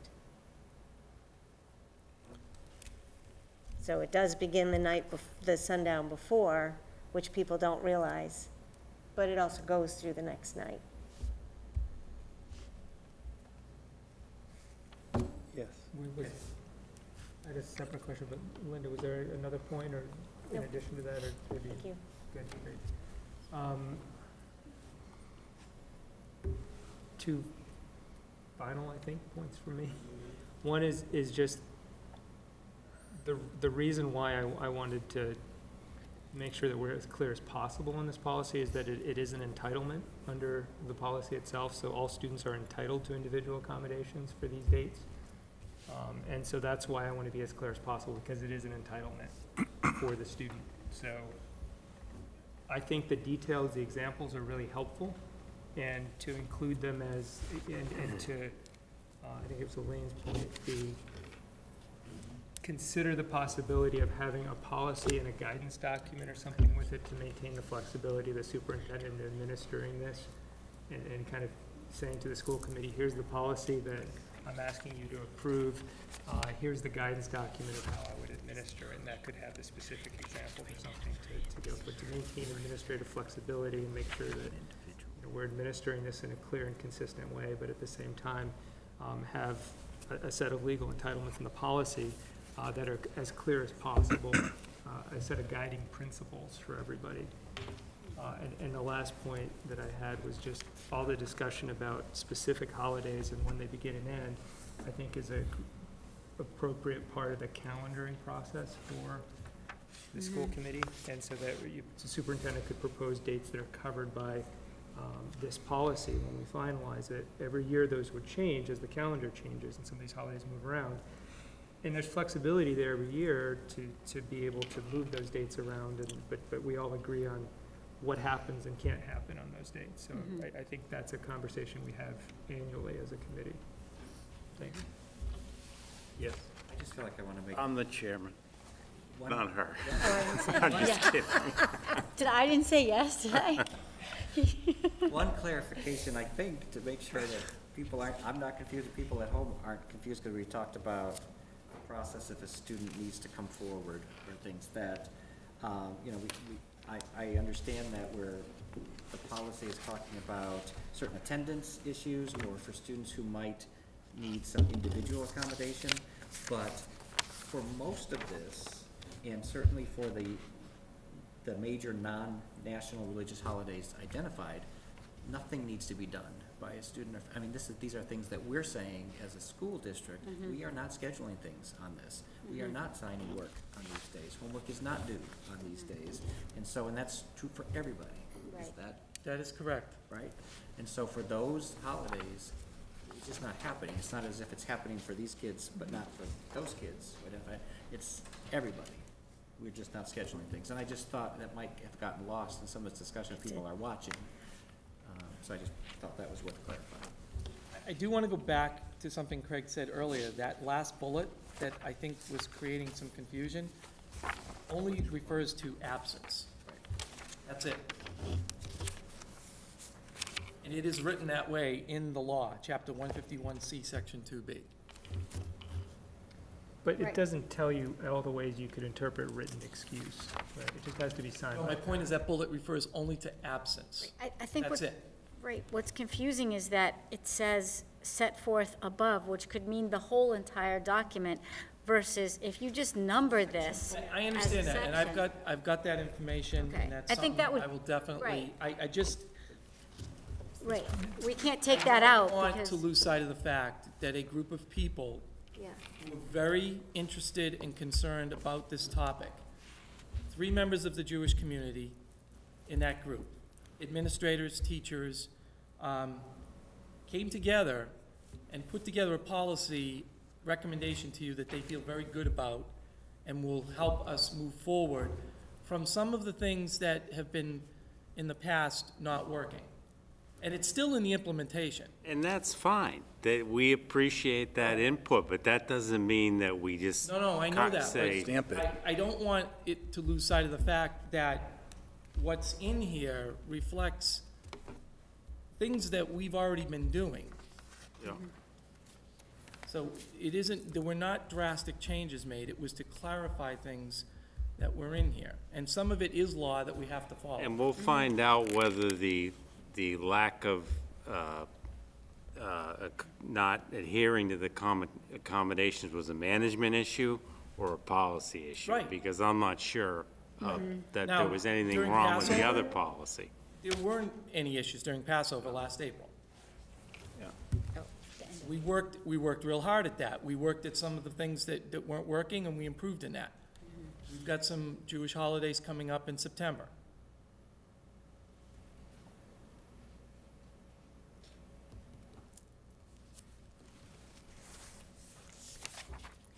Any other, yes. To your, what you raised is the last point here, the last bullet point that you were just talking about, to be entitled to these privileges, that one? So does the law allow you to change twenty-four hours advance notice to become the day they return to school? Is that allowed? If you're saying that the law requires that last bullet point, and this suggests a change to allow notice that is after the fact, is that permitted? I'll have to check. Okay, because that, that we gotta know, right? We can't, I mean, I- I, I'm okay with the idea of students having, and parents having the opportunity to, to submit their written notice after the holiday, but not if the law doesn't allow us to do that. Doesn't that statement allow it? Well, this statement does, but that's not what the original policy said. So we changed it, we, we, we're suggesting a change in this document. The parent, at least twenty-four hours in advance was the original policy, and we added, or the day they return to school. Oh, so we just need to check the law, the, what's the wording of the allowed? law? We'll look into it. Right. Okay, let us know. Oh, oh, I see what you're saying. If you're out From the previous bring version. in the afterwards. Right. All right. This is gonna be a quick meeting. Oh, um, just, actually, we have a, are we done with our agenda? Because we have we a, right. Um, move to enter into executive session to discuss strategies with respect to collective, collective bargaining and not to return to open session. Could I, could I just, under new business, before we get to that, I just wanted to add something that I think we should think about. Um, I got some phone calls. Um, wait, because, um, so. Wait, whoa. Well, it's Oh, on the it wasn't seconded, so fine. yeah. So I just, I just, the extended day program, I got a few phone calls um, from parents who didn't get into the program. I don't know the whole, I'm assuming there's a cutoff date and there's also a space issue. So I'm just thinking, I mentioned this before, but if we have um, the funding available and if we have the interest, I think if we could look at some potential ways to accommodate everybody that really would want to take part in it. Um, It is a service that I think is very valuable. The parents really appreciate it. And, um, you know, if we can rent uh, the, the, a gym in a school, in a, a church or something like that, I mean, or, or even space that, uh, you know, there's, obviously, there's a, there's a significant budget, and, uh, I think that's something just to, to explore. I'm Not saying we do it, but just to explore to, uh, make sure that everybody has a chance potentially to be enrolled. That's it. Thank you. Okay, so, um, move to enter into executive session to discuss strategies with respect to collective bargaining and not to return to open session. Is there a second? Second. Roll call vote. Yes. Yes. Yes. Yes. Yes. I can't. Thank you. Can't be in. Mm, Thank you.